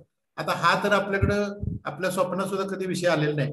की जे अंध असतील मूकबधीर असतील अपंग असतील त्यांच्यासाठी गार्डनमध्ये काय सुविधा आहे? तर हा जो पूर्ण सेक्शन आहे तो ह्या फिजिकली ज्याला म्हणतो आपण दिव्यांग जो आता शब्द वापरला जातो त्यांच्यासाठी हा पूर्ण सेक्शन वापरला आहे. तर अरोमॅटिक प्लॅन्ट्स आहेत. त्यानंतर तुमचं जर व्हीलचेअरवर येत असेल तर त्याला तिथून कसं जाता येईल? अशा पद्धतीने त्या सगळ्या सिस्टीम्स आहेत. त्यामुळे हा सेक्शन हा फ्रॅग्रन्स गार्डन म्हणून ओळखलं जातो. बोन्साईची आपल्याकडे क्रेज आहे पण बोन्साईचे नमुने ह्या सिव्ही स्टार बोन्साई म्युझियममध्ये त्यांनी ठेवले आहेत. जवळजवळ दीडशे नमुने इथं आहेत आणि शंभर वर्षपेक्षा पुढं वय असणारे ते प्लॅन्ट इथं त्यांनी डिस्प्ले केले आहेत. आता हे उदाहरण म्हणून तुम्हाला बघता येईल. आता हे खाली नेम प्लेट्स आहेत त्याच्या आणि साधारण शंभर दीडशे वर्ष असणारी वय असणारे ह्यासाठी एक सेपरेट व्यक्ती तिथं नेमलेले आहे. हा ग्रस्त फक्त ह्या बोन्साईची फक्त काळजी घेतो. त्यानंतर मागाशी जो मी उल्लेख केला तुम्हाला ती न्यूयॉर्क बॉटॅनिकल गार्डन आणि हे बरोबर विरुद्ध दिशेला आहे. दुसऱ्या दिवशी मी ह्या गार्डनला व्हिजिट केली. आणि ही जी स्थापना अठराशे एक्क्याण्णव सालची आहे हे त्यातली काही टुलिप्स ज्याला म्हणतो आपण ते बरेचसे प्लॅन्ट्स इथं बघायला मिळतात. आता हे सुद्धा जसं मगाशी मी उल्लेख केला की काही व्यक्ती ह्या अगदी सडळ हाताने मदत करते आता ही एनिड ए हॉप ही महिला आहे ही स्वतः हॉर्टिकल्चर मधली तज्ज्ञ होती. आणि तिनं हे सगळं नूतनी करून दिलं. त्यामुळे त्याच व्यक्तीचं हे नाव दिलेलं आहे. आणि आतमध्ये हे जे डोम तुम्हाला दिसतो हा डोम पामसाठी तयार केला जातो. म्हणजे पाम जसे उंच जातील तसे ते त्याची पानं जे आहे त्याचं पूर्णपणे आतमध्ये कव्हर व्हायला पाहिजे म्हणजे तो डोम सारखा शेप दिला जातो.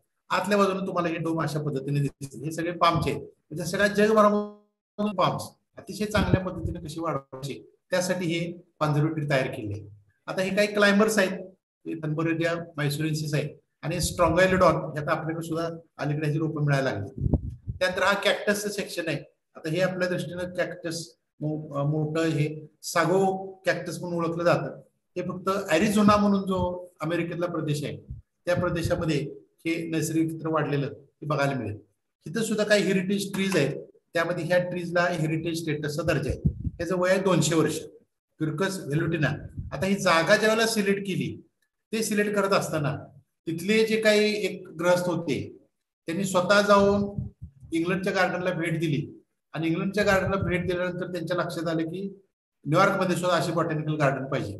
आणि ते करत असताना त्यांनी एक टीम नेमली होती की एरिया सिलेक्ट करा.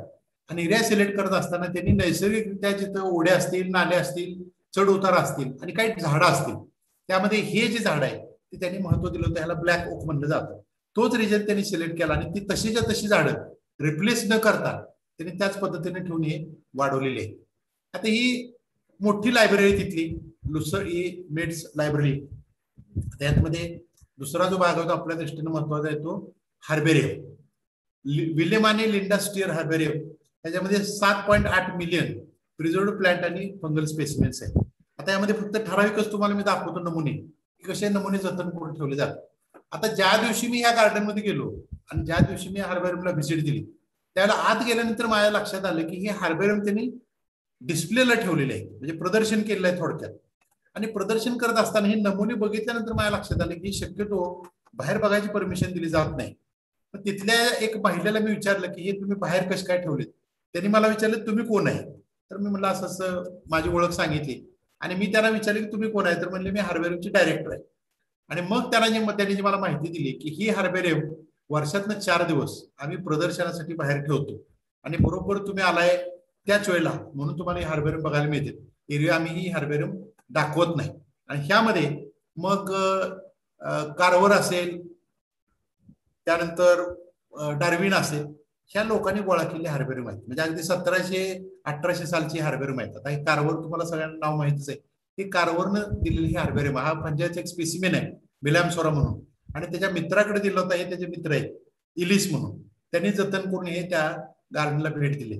तेव्हा अगदी डार्विनपासून कारवरपर्यंत सगळ्यांचे नमुने त्यांनी तिथे ठेवले आहेत आणि त्याचा हिस्टॉरिकल पार्ट जो आहे तो सुद्धा त्यांनी तिथे मेन्शन केलाय हा जो पूर्ण सेक्शन आहे ही टिकडी अशी आहे.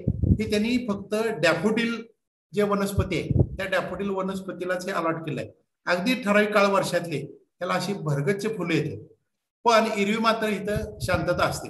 आणि ज्या वेळेला फुले येतील त्यावेळेला मात्र हा बघण्यासारखा एक देखावा असतो. आणि त्याची जाहिरात्मक केली म्हणण्यापेक्षा त्या लोकांना माहितच आहे की आता कुठल्या सीझनला फुले येतील. त्यामुळे ह्याला डॅफोडिल हिल म्हणून ओळखलं जातं.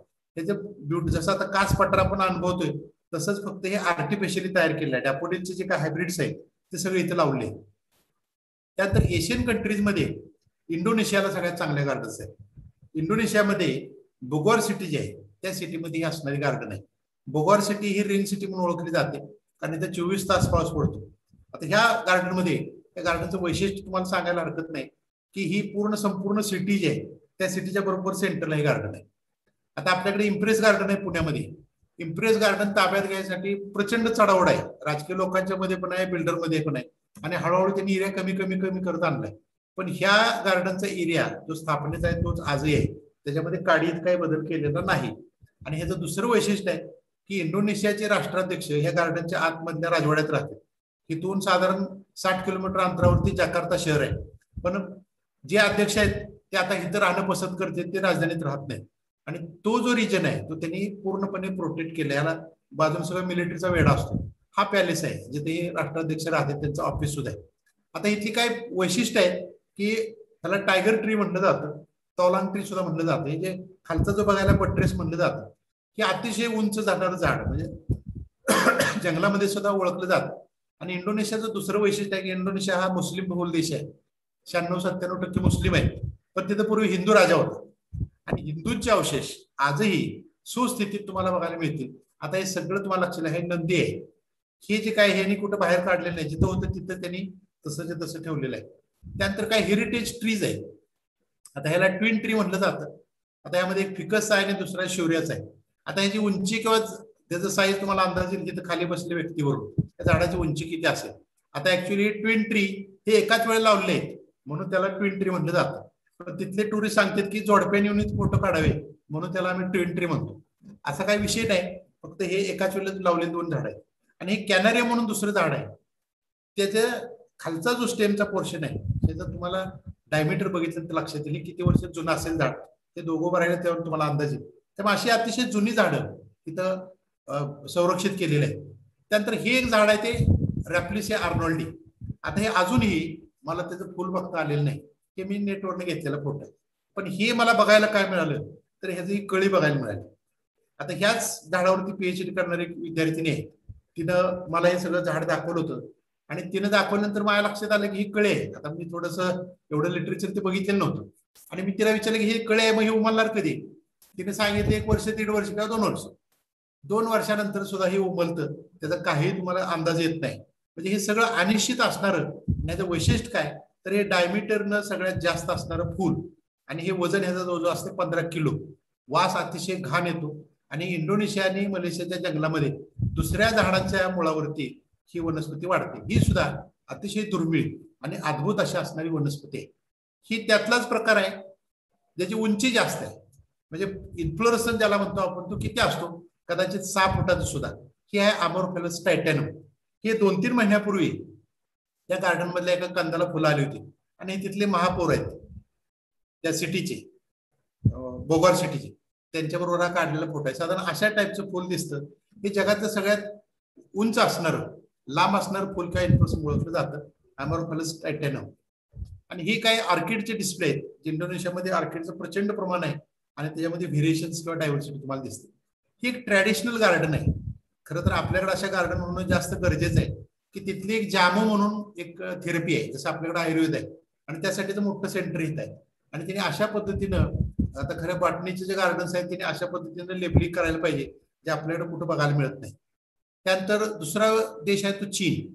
चीनमध्ये सुद्धा मला जवळजवळ तीन चार वेळा जायची संधी मिळाली. आणि आपलं जे आत्ताचं वातावरण आहे की चीन म्हणजे एक नंबरचा शत्रू. माझा अनुभव बरोबर उलट आहे. म्हणजे तिथं गेल्यानंतर कधीही भीती वाटत नाही की आपल्याला कोणीतरी त्रास देईल. जसं आपल्या विमानतळावर उतरलं तर वाटतं की आता बॅग कोणतरी नेणार आपली. आपल्या देशात येऊन सुद्धा. ती भावना मात्र चीनमध्ये दिसत नाही फार कोऑपरेटिव्ह लोक आहेत. आणि अतिशय गडबडीत असणारे पूर्णपणे डेवोटेड म्हणजे आता नुसतं चीनची शिवाय देऊन काय भागणार नाही. ते आपल्या पुढं किमान शंभर वर्ष आहे तिथपर्यंत पोहोचेपर्यंत तिथून पुढे गेलेले असते. आता बाकीचे काही कोरोनासारख्या वाईट गोष्टी बाजूला ठेवूया. पण एक प्रगतीशील देश आणि कशा पद्धतीने त्यांनी डेव्हलप केलं? कारण चीनमध्ये चीन हा जगातला एकमेव असा देश आहे.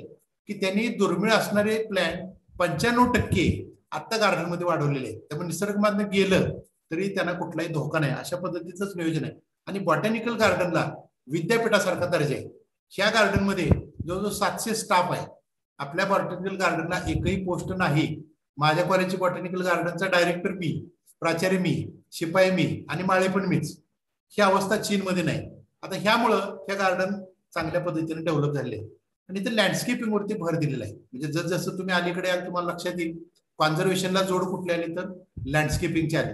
आणि अशा टाईपचे लँडस्केप करून हे टुरिझम सेंटर सुद्धा त्यांनी डेव्हलप केले ही काही अँटी एरिया हे आपल्याकडे पण असते. आणि हा दुसरा एक अतिशय ऑर्नामेंटल असणारा ट्री त्या गार्डनमध्ये वाढवलेला आहे. आणि इफर्ट कशी घेतली जाते तर फिकसची ही जी स्पेसिस आहे मायक्रोकार्पस ही दुसऱ्या झाडावरती होस्ट सारखी वाढत राहते. म्हणजे आतमध्ये होस्ट असते त्याच्यावरती हे झाड वाढतं. आता वाढत वाढत हे अशा पद्धतीने वाढतं की त्यातलं ओरिजिनल झाड मरून गेलेलं असतं. आणि तुम्हाला दिसताना फक्त वरच्या बाजूने दिसतं. पण आतलं झाड मरून गेल्यानंतर त्याची पोकळे आतमध्ये दिसते. आता इथं कॅप आहे. तिथून आतमध्ये गेल्यानंतर तुम्हाला अशी वरपर्यंत पोकळे दिसते. म्हणजे ओरिजिनल झाड आहे ते गेलेलंच आहे. आता वाढलंय ते फक्त फिकस आहे. हे आर्टिफिशियली त्यांनी झाडं आणून त्यावरती वाढवून हे अशा पद्धतीचं एक स्पेसिमेन त्या गार्डनमध्ये तयार केलं. ही काही ऑर्नामेंटल व्हरायटीज आहेत. त्यानंतर ग्लास हाऊस ग्लास हाऊसमध्ये काही कॅक्टसचे नमुने आहेत. आणि दुसरी जी गार्डन आहे वुहानची. आता वुहान हे नाव सगळ्या जगाला माहीत झालंय कोरोनामुळं. आणि तुम्हाला इथे नाव ऐकून माहीत असेल की वुहानमध्येच दोन हजार सात साली ग्लोबल काँग्रेस होती बॉटॅनिकल गार्डनची. आणि ह्याच काँग्रेसमध्ये सार्क कंट्रीचं कन्व्हिनर बॉटॅनिकल गार्डन नेटवर्किंगचं म्हणून मिटिंग झाली. आणि तुम्हाला सांगायला हरकत नाही की मला पाठिंबा कोणी दिला असेल तर पाकिस्तान चार जण होते. त्यांनी स्ट्रॉंगली सांगितलं की इंडियाचं जे व्यक्ती आहे त्यांना तुम्ही द्यायला पाहिजे. त्यामुळे ही गार्डन हे वन सिटीमध्ये आहे आणि ही वन सिटीमध्ये गार्डन जे आहे ते आता आपण किवी फ्रूट जे म्हणतोय किवी फ्रूटचं जर्म प्लाझम हे या गार्डनमध्ये फार चांगल्या पद्धतीने मेंटेन केलं आहे ही काही त्यातली ग्लास हाऊस आहेत. त्यानंतर ही जपानची गार्डन आहे. जपानला मला आता अलीकडं दोन हजार सतरा साली जायची संधी मिळाली. आणि जपानचं जर वैशिष्ट्य तुम्ही बघितलं तर पूर्णपणे जाहिरातीपासून लांब असणार आहे. आता हे गार्डनचं गेट आहे ही सांगून सुद्धा लक्षात येत नाही. कारण तिथं बोर्डच नाही कुठला. तिथं फक्त तुम्हाला आत मॅप दिसेल आणि इथून त्याची एंट्री सुकुबा युनिव्हर्सिटी जी आहे त्या युनिव्हर्सिटीच्या बॉटनी डिपार्टमेंटची ही गार्डन आहे. पण याला पूर्णपणे फंडिंग असणारी गार्डन आहे आणि अतिशय आयडियल गार्डन म्हणजे गार्डनचा उल्लेख करता येईल. हे ट्रॉपिकल रेन फॉरेस्ट हाऊस आहे. काही इथं ह्या काम सुरू होतं तेव्हा मला जाता आलं नाही. त्यातलं काही पार्ट बघितल्यानंतर बिगोनिया जे प्लॅन्ट आहे त्या बिगुने प्लॅन्टचं जगातलं सगळ्यात चांगलं कलेक्शन ह्या गार्डनमध्ये मी बघितलं. आपल्याकडे ऑर्नामेंटल म्हणून यातल्या बऱ्याचशा व्हरायटी येतात आणि हे दुसरं जे आहे हे तुम्हाला मुद्दाम सांगण्यासारखं की बॉटॅनिकल गार्डनमध्ये नुसती झाडच असावीत का? तर अजिबात नाही. मग ह्या गार्डनमध्ये ही फार मोठी इमारत आहे. ह्याला वर्कशॉप आणि एक्झिबिशन बिल्डिंग म्हणलं जातं. आतमध्ये हे अशा टाईपचे नमुने त्यांनी ठेवले म्हणजे आपले बॉटनीचे जे काही आपले डिपार्टमेंट्स आहेत त्यांनी असे स्पेसिमेन करून डिस्प्ले करायला हरकत नाही. ऍक्च्युली ड्राईड केलेली स्पेसिमेन्स आहेत. त्याचे असे त्यांनी चार्ट बनवले पानांचे नमुने त्यांचे चार्ट बनवले जे मोठे फ्लावर्स आहेत ते असे ग्लासमध्ये टाईट करून त्यांनी प्रिझर्व केले. हे एक्झिबिशन आतमध्ये दिसतं. आणि दुसरं जे सिनियर सिटीजन्स आहेत. आता आपल्याकडे बऱ्याच वेळा प्रश्न होतो की रिटायर झाल्यानंतर काय करायचं? तर सिनियर सिटीजनसाठी ते हॉबी म्हणून ज्यांना पाहिजे असेल त्यांना इथं असं झाडांचं पेंटिंग करायचं. कंटिन्युअस त्यांचे वर्कशॉप किंवा कार्यशाळा सुरू असते आणि हे असल्यामुळं अतिशय चांगल्या पद्धतीने ही लोक त्याचा आनंद घेतात आता मला काही प्राध्यापक माहीत आहेत रिटायर झाल्यानंतर चार दिवसाच्या जोरात अटॅक आला निघून गेले. कारण मित्र नाही कुठल्या आवड नाही समाज नाही काही संबंधच ठेवलेले नाही. जगायचं कसा हा मार्ग प्रश्न पडतो. जपानमध्ये हे बघितलं नाही मी कारण त्यांना सोर्सेस त्यांनी तयार करून दिलेले आहेत. पुढची गार्डन आहे ती सिंगापूरची आहे. सिंगापूर बॉटॅनिकल गार्डन ही अठराशे बावीस स्थापना आहे. आणि जगामध्ये तीनच गार्डनला हा युनेस्को वर्ल्ड हेरिटेजचा स्टेटस आहे. त्याच्यामध्ये क्यू बॉटॅनिकल गार्डन आर्टो बॉटॅनिकॅव आणि ही सिंगापूरची गार्डन हा दोन हजार पंधरा साली मिळालेला आहे. आणि जवळजवळ चार पॉईंट पाच मिलियन टुरिस्ट हे अॅन्युअल येतात. हा आकडा सुद्धा दोन तीन वर्षापूर्वीच आहे. सिंगापूरची लोकसंख्या आहे साडेपाच मिलियन आणि टुरिस्ट येते साडेचार मिलियन सिंगापूरच्या लोकसंख्ये एवढी टुरिस्ट ह्या सिंगापूरला व्हिजिट करते आणि सगळ्यात त्याचं काय वैशिष्ट्य असेल तर हा डिस्प्ले अतिशय सुंदर डिस्प्ले तिथं बघायला मिळते. आता गार्डन मधूनच कशा पद्धतीनं चांगली कामं केले त्याचं एक मूर्तिमंत उदाहरण आहे. सिंगापूरच्या गार्डनचं काय करते ज्यावेळेला एखादी व्हीआयपीची व्हिजिट होईल त्यावेळेला त्यांच्या नावानं एक ऑर्किडची व्हरायटी त्यावेळेला रिलीज केली जाते. म्हणजे रिलीज केली जाते म्हणजे आपल्याकडे जसं झाडं पुढारी आल्यानंतर लावतो पुढं काय झालं असं नाही. त्याच नावानं ती व्हरायटी डिस्ट्रीब्युट केली जाते विकली पण सुद्धा जाते. आता हे प्रिन्सेस डायनाच्या नावाने हे तयार केलेलं ऑर्किड आहे. त्यानंतर उषा आपल्याकडे जे नारायणन म्हणून राष्ट्रपती होते त्यांच्या मिसेसचंही नाव आहे. आणि त्याला हे भेंडा उषा त्यांनी नाव दिलंय. डेंड्रोवियम बे लॉंगजू हा कोरियाचा एक मोठा गायक आहे. त्यानंतर ही सुद्धा सिंगापूरमध्येच व्यक्ती आहे त्यांना आदर म्हणून हे आर्किड तयार केलं जातं. आणि त्यांच्या पॉलिसीमध्ये ह्याचा उल्लेख आहे की याला व्हीआयपी आर्किड म्हटलं जातं आणि व्हीआयपी डिप्लोमॅसी शब्द वापरला जातो. म्हणजे बाहेरच्या लोकांना एक आदर म्हणून काय करता येईल त्याचं मूर्तिमंत उदाहरण आहे. त्यानंतर हे जे ऑर्किड आहे हे त्यांचं नॅशनल फ्लॉवर आहे. पॅप्युलॅन्टी मिस जॉयकिम वारेग्निस व्हरायटी अग्निस सोडते. आता हे का नावाला असेल? तर हे सिंगापूर हे आता हायब्रिड ऑर्किडचं सगळ्या जगातलं मोठं सेंटर आहे. आणि बरीचशी लोक हाऊस म्हणून सुद्धा तयार करतात. आता हे ऑर्किड हे एका तिथले जे डायरेक्टर होते त्या डायरेक्टरनी काय केलं? एक सर्वे सुरू केला. आता ते स्वतः ऑर्किड मधले तज्ज्ञ होते. त्यांनी सर्वे सुरू केल्यानंतर ह्या ऑर्किडच्या त्याच्यामध्ये निवड झाली नॅशनल फ्लॉवर म्हणून. आता खरं तर ते स्वतःच आर्किडचे तज्ज्ञ होते त्यांनी स्वतःचं नाव सुद्धा तिथं देता आलं असतं. पण त्यांना ती व्यक्ती माहीत होती जी परदेशातली महिला आपण तिथं सिंगापूरमध्ये स्थायिक झालेली. आणि तिने हे हायब्रिड तयार केलं होतं. त्या व्यक्तीचं नाव हे जे नाव दिसते तुम्हाला मिस जोयाकिम हे त्या महिलेचं नाव आहे. म्हणजे अतिशय छोट्या घरामध्ये राहणारी महिला की तिला आवड होती त्या व्यक्तीचंच नाव दिलं. आणि हे आता सिंगापूरचं नॅशनल फॉर्म ओळखलं जातं. आणि जर ऑर्किड म्हणजे काय असतं हे जर बघायचं असेल तर ह्या गार्डनला तुम्ही अवश्य भेट द्यावी. नुसती ऑर्किड बघायला कदाचित तुम्हाला दोन दिवसाचा कालावधी लागेल. एवढे त्याचे कलर्स एवढे त्याचे कॉम्बिनेशन ह्या पद्धतीने म्हणजे एकाच डिस्प्ले आता असे चांगले शंभर एक स्लाइड तयार करता येतील एवढे ऑर्किड्स तिथे आहेत हायब्रिडचे आणि ह्याच्यामध्ये सगळ्यात लार्जेस्ट कलेक्शन आहे हे ऑर्किड्स आहे. म्हणजे सिंगापूरच्या एअरपोर्ट पासूनच तुम्हाला लक्षात येतं की ऑर्किडमध्ये मध्ये सगळे दादा मंडळ आहे त्यानंतर हे प्लॅन हे सुद्धा अमेझिंग प्लॅन्स आहेत. त्यामध्ये लोडेशिया मालदीवका ह्याचं नाव आहे. ऍक्च्युली हे सिसिलिस बेटावरती मिळतं. पण ह्याचं मालदीवका नाव पडलं आणि ते तसंच राहिलं. ह्याचं वैशिष्ट्य काय? तर ह्याला डबल कोकोनट ट्री म्हणलं जातं. आणि साधारण इथं छोटी फळं आलेली दिसतील. त्यानंतर हे ऍक्च्युली फळ असं तयार होतं. आणि हे त्याचं सीड आहे. आता याचं वैशिष्ट्य काय? तर हे जगातलं सगळ्यात लार्जेस्ट सीड आहे. त्याचं वजन जातं साधारण तीस किलो पर्यंत सुद्धा. आणि हे तयार व्हायला सहा वर्षाचा कालावधी लागतो. म्हणजे ज्यावेळेला फुलं दिसतील तयार होताना तुम्हाला दिसेल सहा वर्ष वाट बघायला लागते. आता हे तिथून बॅनच केलेलं आहे आणि काही ठराविक बॉटॅनिकल गार्डनमध्ये आपल्याकडे फक्त कलकत्त्याच्या गार्डनमध्ये ह्याचं एक झाड आहे. हे सुद्धा एक अमेझिंग प्लांट्स म्हणतो आपण. निसर्गाचा चमत्कार म्हणून या प्लांटचा उल्लेख करता येईल. दुसरं गार्डन्स बाय बे ही सिंगापूरची त्यांनी बघा कसं केलंय की नॅशनल बॉटॅनिकल गार्डन आहे प्लस अजून एक गार्डन त्यांनी तयार केली ज्याची दोन हजार बारा सालची स्थापना आहे. आणि ही सुद्धा एक टेक्नॉलॉजिकली साऊंड असणारी गार्डन आहे. काय केले त्याच्यामध्ये? हे दोन ग्लास हाऊस आहे. त्यानंतर इथं तुम्हाला असे ट्री सारखे स्ट्रक्चर दिसतील. त्याला सुपर ग्रू ट्री म्हणलं जातं. आणि बाकीचा जो काय सस्टेनेबिलिटीचा भाग आहे टेम्परेचर मॉइश्चर ह्युमिडिटी सगळं इथं मेंटेन केलं आहे आता यातला हा जो आहे हा फ्लावर डोम आहे एक. डोमची उंची किती आहे या महिलेच्या उंचीवरून तुमच्या लक्षात येईल. आता ह्यामध्ये त्यांनी काय केलंय? आफ्रिकेमधली झाडं ऑस्ट्रेलियामधली झाडं वाढवायची कशी? तर ते टेम्परेचर मेंटेन करायला पाहिजे. म्हणून ह्या डोमपासून खालीपर्यंत वेगवेगळे क्लायमेटचे झोन्स आहेत. आता ही झाडं उंचावरची दिसतील ही आफ्रिकेची. त्याच्याखाली क्लायमेट बदललं की इथली झाडं वेगळी. हे पूर्ण झाडं म्हणजे अक्षरशः मोठे ट्रीज तिथे गेल्यानंतर तुम्हाला वाचणार हे आर्टिफिशियल आहेत का काय? पण सगळे नॅचरल झाडं वेगळ्या झोन मधली या फ्लॉवर डो मध्ये वाढले हे फ्लॉवर डो पूर्णपणे आर्टिफिशियली कंट्रोल्ड आहेत. हे आपण जे खजूर म्हणतो ते जे असणारे हे प्लांट्स आहेत जे आतमध्ये वाढवलेले आहेत. आणि असा डिस्प्ले दोन तीन दिवसाला हे डिस्प्ले बदलतात. हे का तर टुरिस्ट अट्रॅक्शन आहे म्हणून. हे क्लाउड फॉरेस्ट आहे. म्हणजे आता सिंगापूरचं तुम्ही बघितलं तर नकाशात ते दिसणार नाही. टेकडी त्यांनी बघितलेलीच नाही. आर्टिफिशियल टेकडी कशी असू शकते? म्हणजे टेकडीवर जाताना तुम्हाला ते फिलिंग येईल. म्हणून एक क्लाउड फॉरेस्ट तयार केलंय. आतमधून हे अशा पद्धतीने दिसतं. आता हे उंच टेकडी आहे. आता हिथून आतमध्ये जा तुम्हाला असं फिरत फिरत वरती जाता येतं.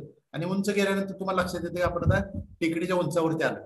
नुसतं वर जाता येत नाही. तरी बाहेरच्या बाजूला जी ऑर्किड्स किंवा काय प्लांट्स आहेत ती सुद्धा त्यांनी त्याच पद्धतीनं तिथं लावलेले आहेत. ही त्याचे साधारण डिस्प्ले आहेत की बाहेरच्या बाजूला अशी कंटिन्युअस फुलं असणारी तुम्हाला दिसतील आणि हे सुद्धा पूर्णपणे ऑटोमॅटिकली कंट्रोल असणारं ग्लास हाऊस आहे. सुपर ट्री ग्रो आता हे का तयार केले तर ट्रीचं फंक्शन जे आहे ते तुम्हाला ह्या मॉडेलमधनं दिसावं. त्याच्यावरती फोटोवॉल्टिक सेल्स आहेत. तिथं सोलर एनर्जी कॅप्चर केली जाते.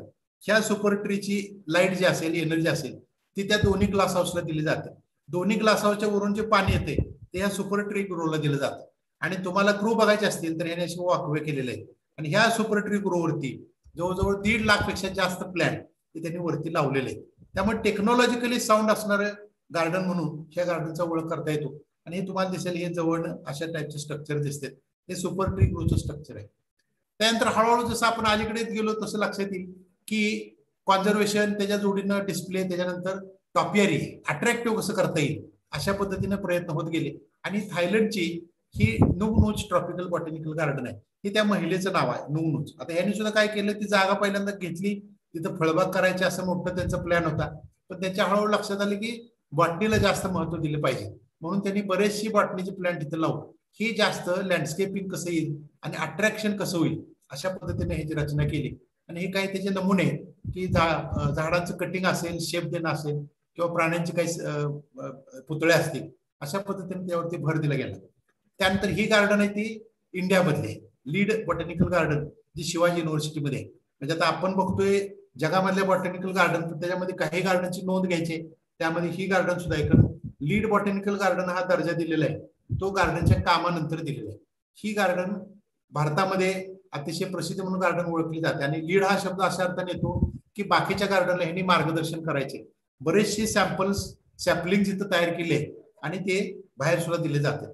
आता लीड गार्डन दर्जा येत असताना कॉन्ट्रीब्युशन किंवा नेमकी महत्वाची ऍक्टिव्हिटी काय केले गेल्या तर हे दोन प्लॅन जास्त महत्त्वाचे आहेत. एक सिरोपिजा फॅन्टॅस्टिका जे समजलं जात होतं की संपलंय निसर्गामध्ये अस्तित्वात नाही. ते शोधून त्याचं कॉन्झर्वेशन करून ते झाडं वाढवली सुद्धा गेली. आणि हे दुसरा विषय गवताचा आहे. माझी पीएचडी गवतावरचे हे हुबार्डे हॅप्टान्युरॉन हे जे गवत आहे हे सुद्धा निसर्गामधून नष्ट झाले किंवा नष्ट झालं असू शकतं. असेच त्याच्या नोंदी होत्या तिलारी घाटामध्ये ही वनस्पती मिळाली त्याच्यावरती प्रोजेक्ट राबवले गेले आणि दुसऱ्या घाटामध्ये हे झाड वाढवून आता नुसतं एक्स्टिंक्ट हा दर्जा तर त्याचं गेलेलंच आहे पण आता हे झाड अस्तित्वात आहे. म्हणजे ह्याचं सुद्धा मोठं श्रेय. बटणीच्या डिपार्टमेंटला त्यातले त्यात माझे गुरुजी आहेत यादव सर त्यांना जातं आणि आमच्या सगळ्या ग्रुपला पण जातं. त्यामुळे ह्या दोन स्पेसीचं कॉन्झर्वेशन एक फार मोठी जमेची बाजू होती आणि त्या दृष्टीने हे गार्डन डेव्हलप झाले. आणि ही जी गार्डन आहे ती मी डेव्हलप केलेली गार्डन आहे जेवंत बॉटॅनिकल गार्डन आता हे आमचे जे चेअरमन होते हे अध्यक्ष आता त्यांचं नाव दिलं तर ते चेअरमन आहेत म्हणून नाव दिले हा विषय आहेच पण तरी सुद्धा गार्डनचा जो एरिया आहे तो पूर्ण एरिया तीन एकरचा मला देण्यामागं ह्यांचं फार मोठं श्रेय आहे. आणि बऱ्याच वेळेला असे प्रयत्न झाले की दुसरं काहीतरी इथं करता येईल का? पण त्यांनी शेवटपर्यंत त्याला विरोध केला आणि कधी त्यांनी त्याच्यामध्ये इंटरफेअर होऊन दिलं नाही. आणि मला त्यांनी स्पष्ट शब्दात सांगितलं होतं की तुमची ऍक्टिव्हिटी हे तुम्ही कंटिन्यू ठेवायची. आणि मी सुद्धा मग हे जगभरामध्ये जे गार्डन बघितले तो अनुभव लक्षात घेता. जास्तीत जास्त प्लॅन किंवा कॉन्झर्वेशन करता येईल. आणि मी गार्डन तयार करत असताना एज्युकेशन हा सुद्धा एक मोठा उद्देश त्यामध्ये ठेवलाय. आणि जेणेकरून त्याचं हे कसं करता येईल वाढवता कसं येईल. आता याच्यामध्ये डिस्प्ले महत्त्वाचे आहेत. कारण आपल्याकडे बॉटॅनिकल गार्डनमध्ये लँडस्केपिंग हा पार्ट आपण कधी विचारात घेत नाही. म्हणजे मोठ्या मोठ्या गार्डन जरी तुम्ही बघितल्या ज्या गव्हर्नमेंटचे त्यांनी लँडस्केपिंग सगळं बाजूला टाकलेलं असते आता ह्याच्यामध्ये बरेचसे फरशा जे खराब असतील त्याच तयार करून मी केलेलं आहे त्या तुम्हाला दिसतील या बिअरच्या बॉटल्स आहेत. आता बिअरचे बॉटल ह्याचा अर्थ मला बिअरचं स्पॉन्सरशिप नाही पण ही बिअरचे बॉटल वाया जाते. त्याचे फक्त लेबल काढून अशा पद्धतीने आम्ही डिस्प्ले करतो. आणि आमचा एक विद्यार्थ्याचा फार मोठा बिझनेस आहे. हे बॉटल असेल किंवा भंगार असेल त्याला आम्ही एकदा बोलल्यानंतर त्याने एक ट्रक भरून आणून दिले वाटलं. आणि त्याच आम्ही इथं डिस्प्लेसाठी वापरलंय. काही असे डिस्प्ले पण तयार करायला लागतात की जेणेकरून नुसती झाडच नाही तर जाता जाता तुम्हाला काही मेसेज शिवाजी महाराजांचा एक मेसेज आहे. काही वनस्पतींचे मानचिन्ह आहेत महाराष्ट्राचे आणि अशा पद्धतीनं ते तुम्हाला डिस्प्ले करता येईल हा त्यातलाच भाग आहे. आता जसं तुम्ही बघता की लॉन तयार करतो आपण. आता इंटरनॅशनल लेवलला लॉन अजिबात करू नका अशाच आत्ताच्या गाईडलाईन्स आहेत. कारण त्याचा मेंटेनन्स त्याचं पाणी ह्या बऱ्याच गोष्टी आहेत. ते जर तुम्हाला रिप्लेस करायचं असेल तर आता भुईमुगाची एक प्रजाती आहे. ही जी मी इंडोनेशियामध्ये बघितली त्यांनी सिंगापूरमध्ये. तुम्हाला फिलिंग लॉन सारखंच दिसतं. त्याचबरोबर तुम्ही आता वाटेल तुम्हाला ही की कासपाटरचा फोटो आहे का काय? आता ऍक्च्युअली गार्डनमध्ये नाही हे चोवीस बाराही महिने त्याला फुलं असतील. आणि हे दुसरं की जर तुमचे स्ट्रक्चर असे असतील तर तुम्ही ह्या पद्धतीने कव्हर केले तर ऑटोमॅटिकली टेम्परेचर कमी होतं. आता हे गार्डन मधलं एक जुनी इमारत आहे जिथं माझी बसायची जागा होती इथं हरबेरम ह्या पद्धतीने. आता ही रिसर्च लॅबच केली आम्ही. अशा पद्धतीने त्याला कव्हर केलेलं आहे. आणि हे हे सुरुवातीचा फोटो आहे. आणि हा नंतरचा फोटो आहे. म्हणजे हेच हे स्ट्रक्चर आहे जे आता असं दिसतं. आणि दुसरं डॉली कॅन्ड्रा अंगूस कुट्टी म्हणून एक बिगुनोनिसचं प्लॅन्ट आहे. त्याला नक्या पण येते ते जर तुम्ही शेडिंग नेटला वगैरे लावलं किंवा बिल्डिंग लावलं तर अशा पद्धतीचं पूर्ण स्ट्रक्चरच कव्हर होतं. त्यामुळे ऑटोमॅटिकली टेम्परेचर जे आहे ते तुम्हाला कमी पण करता येतं. असे काही कन्सेप्ट वापरले तर थोडंसं वेगळं पण हे आपल्याला त्या गार्डनचं जपता येतं. बटरफ्लाय गार्डन एक तयार केलेली आहे आणि प्रचंड बटरफ्लाय येते त्या फक्त प्लॅन्टचं सिलेक्शन आपलं प्रॉपर पाहिजे. एक तीस चाळीस प्लॅन्ट तुम्ही लावले तरी एवढे बटरफ्लाय येतील की तुम्ही स्वतःच त्यातनं हलणार नाही. हा बटरफ्लायचा सेक्शन आहे. आर्बोरिटममध्ये काही प्लांट्स आहेत. त्याच्यामध्ये हा मॅग्नोरिया ग्रँडिफ्लोरा त्यानंतर हे इलिओकार्पस ज्याला आपण रुद्राक्ष म्हणतो हे तसेच काही वेगवेगळे प्लांट्स आहेत. फर्मियाना कोलरेटा त्यानंतर काही क्लायंबर्स मुद्दाम लावले आहेत. त्यामध्ये एंटेडा ज्याला आम्ही गार्बेज म्हणतो ज्याची जगातली सगळ्यात लांब शेंग त्याला येते सहा फुटापर्यंत. तो वेल आता अजून त्याला फ्लॉवरिंग आलेलं नाही. पण ते सेटिंग व्हायला लागले काही दिवसामध्ये त्याला फ्लॉवरिंग येईल. त्यानंतर काही सायकॅडचे नमुने आहेत. आता हे सुद्धा बॉटनीच्या दृष्टीने महत्वाचं सॅम्पल्स किंवा विद्यार्थ्यांना महत्त्व कसं असेल सिलेबस कसा असेल अशा पद्धतीनेच ते स्पेसिस ते कलेक्ट करून लावले आणि जो माझा विषय पीएचडीचा कारण गार्डनचा मला मिनिस्टर ऑफ एन्व्हायरमेंटकडून प्रोजेक्ट मिळाला. आणि त्याच्यामध्ये पहिल्यांदा ज्या वेळेला प्रपोजल दिले मी त्यावेळेला त्यांनी सुच म्हणजे सुचवलं. कारण एन पी सिंग म्हणजे बीएसआयचे डायरेक्टर होते त्यांनी सांगितलं की तुमची पीएचडीच ग्रासमध्ये त्यामुळे तुमचं प्रपोजल देताना ग्रासमध्ये द्या. मी रिवाईज करून ग्रासचं प्रपोजल दिलं आणि मग ती प्लॅन्ट हे प्रामुख्याने लावलेत. आता हे जे आहे हे सायलेंट व्हॅलिया चांदवड एसिस म्हणून हे नवीन स्पेसिस डिस्क्राईब झाले एक पाच सहा वर्षापूर्वी. ते प्लॅन्ट इथं गार्डनमध्ये हे बॉथ्रिफ्लोआ जैनी म्हणून आहे. त्यानंतर हे बॉथ्रिफ्लोआ ओडोरेटा म्हणून आहे. हे सगळे रेअर ग्रासेस आहेत. ज्याचं कॉन्झर्वेशन या आपल्या गार्डनमध्ये केलेलं आहे. त्यानंतर काही पाम्स आहेत. आता पामचे सगळ्यात जास्त नमुने खरं तर भारतातले आता सगळ्यात जास्त नमुने शिवाजी युनिव्हर्सिटीमध्ये जवळजवळ आता ऐंशी ते पंच्याऐंशी प्रकारचे पाम हे विद्यापीठामध्ये आपल्याकडे उपलब्ध आहेत. आणि त्यातलेच सरांच्याकडं आणून मी जवळजवळ तीस प्रकारचे पाम आता गार्डनमध्ये लावले त्यातला हा एक तुम्हाला उल्लेख करता येईल की बरेचसे आपल्या टूर जातात मालवणला ते नारळाला फांदे आलेलं बघायसाठी झाड. पण ही हायपी हायपिनी म्हणून जो पाम आहे त्याला निसर्गतःच ब्रँचिंग असतं. आणि याचं वैशिष्ट्य जगामध्ये हा फक्त महाराष्ट्रात मिळतो. महाराष्ट्राला एंडेमिक असणारा हा पाम आहे. त्यामुळे हे नॅचरली ब्रँचिंग असणारं पाम म्हणून याची ओळख आहे हायपेनीची आणि त्यानंतर हा जो आहे हा कोरिफा आहे. कोरिफा अमेरिकेलिफेरा त्याचं आयुष्य आहे शंभर वर्ष. शंभर वर्ष हा पाम जगतो. आणि हे लार्जेस्ट पाम म्हणून ओळखलं जातो. याला सीड आल्यानंतर हा पाम निघून जातो. त्यामुळे लावताना सुद्धा असे टिपिकल पाम्स हे गार्डनमध्ये ग्रो केले.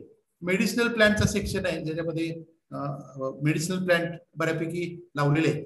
आणि काही आरिटी प्लांट्स आहेत जे रेअर इंडेंजर्ड किंवा थ्रेटन आपण म्हणतो. जसं फ्रेरे इंडिका असेल बार्लेरे असेल हे प्लांट्स आरिटी सेक्शनमध्ये पूर्णपणे ग्रो केले त्यानंतर एज्युकेशनचे प्रोग्राम आम्ही कंटिन्युअसली करतो. नॅकचा सुद्धा आम्हाला ह्याला बऱ्याच वेळेला फायदा झाले की हायस्कूलचे विद्यार्थी असतील काही कॉलेज विद्यार्थी असतील आमच्याकडे येतील किंवा जसं आता तुम्ही वर्ल्ड वाईल्ड लाईफ डे निमित्त केले आता हे स्पेसिमेन असे ट्राय करून ह्याचं लॅमिनेशन केले असे शीट तयार केलेत. फ्लॉवरचे करोलाचे टाईप्स लिफ्टचे टाईप्स हे विद्यार्थ्यांच्या सहली. आणि काही ग्रीटिंग कार्ड मुलांनी बनवलेत. आपल्याकडे ज्या पत्रिका असतात टाकाऊ लग्नाच्या पत्रिका येतात किंवा कार्यक्रमाच्या त्याच्याच आतल्या बाजूला हे अशा टाईपचे फुलांचे पार्ट ड्राय करून असे त्यांनी ग्रीटिंग कार्ड तयार केले हा तो ग्रीटिंग कार्डचा भाग आहे. म्हणजे हे पुण्यात जाऊन जर विकायला बसलं तर अगदी सत्तर पन्नास साठ रुपयेपर्यंत हे कार्ड जाईल. हे मुलांनी सगळे बनवलेत. एस वाय बीएससीचे आणि टी वाय बीएससीची मुलं. एन्व्हायरमेंट सायन्सचे किंवा बॉटनीचे त्यांना हे काम दिलं की त्यांनी फक्त फ्लावरचे पार्ट ट्राय करायचे आणि त्या पत्रिकाही त्यांनी साठवून ठेवायच्या. त्याच्यावरती असे स्पेसिमेंट तयार करायचे. त्यामुळे एक्झिबिशन म्हणून अशा टाईपच्या काही ऍक्टिव्हिटी ह्या आम्ही कॉलेजमध्ये घेत असतो. त्यामुळे हे बघत असताना आता आपण जो थोडासा आढावा घेऊया की बॉटॅनिकल गार्डन्स ऑफ द वर्ल्डमध्ये मी ज्या बघितलेल्या गार्डन्स आहेत त्यामध्ये पहिली गार्डन जी तुम्हाला दाखवली इटलीमध्ये त्याला अजून मला भेटता आलेलं नाही. पण बाकीच्या गार्डन मात्र मी व्हिजिट केले आणि बहुतेक सगळे फोटो शंभर टक्के मी स्वतः काढले फोटो आहेत. त्याचा मी आनंद पण घेतलेला आहे. आणि हे करत असताना शेवटी असं लक्षात येतं की प्रत्येक कॉलेजला एक छोटीशी बॉटॅनिकल गार्डन असावी. आणि बॉटॅनिकल गार्डन असावे याचा अर्थ एक डिसिप्लिन ज्याला म्हणतो आपण म्हणजे लँडस्केपिंग प्रॉपर प्लॅनचं सिलेक्शन फार मोठी प्लॅन्स लागत नाहीत. एक जागा तुमच्याकडे कमी असली तर औषधी वनस्पतीचे अगदी सहज तुम्ही पन्नास साठ नमुने लावू शकता. आणि बटरफ्लायचे तीस चाळीस नमुने लावू शकता. म्हणजे शंभर प्लॅन तुमचे ऑटोमॅटिकली छोट्याशा जागेमध्ये सुद्धा येतं फक्त प्रॉब्लेम येतो तो लँडस्केपिंगचा लँडस्केपिंग तुम्ही केलं तर मग हे झाडं लावायला कुठलीही अडचण येत नाही.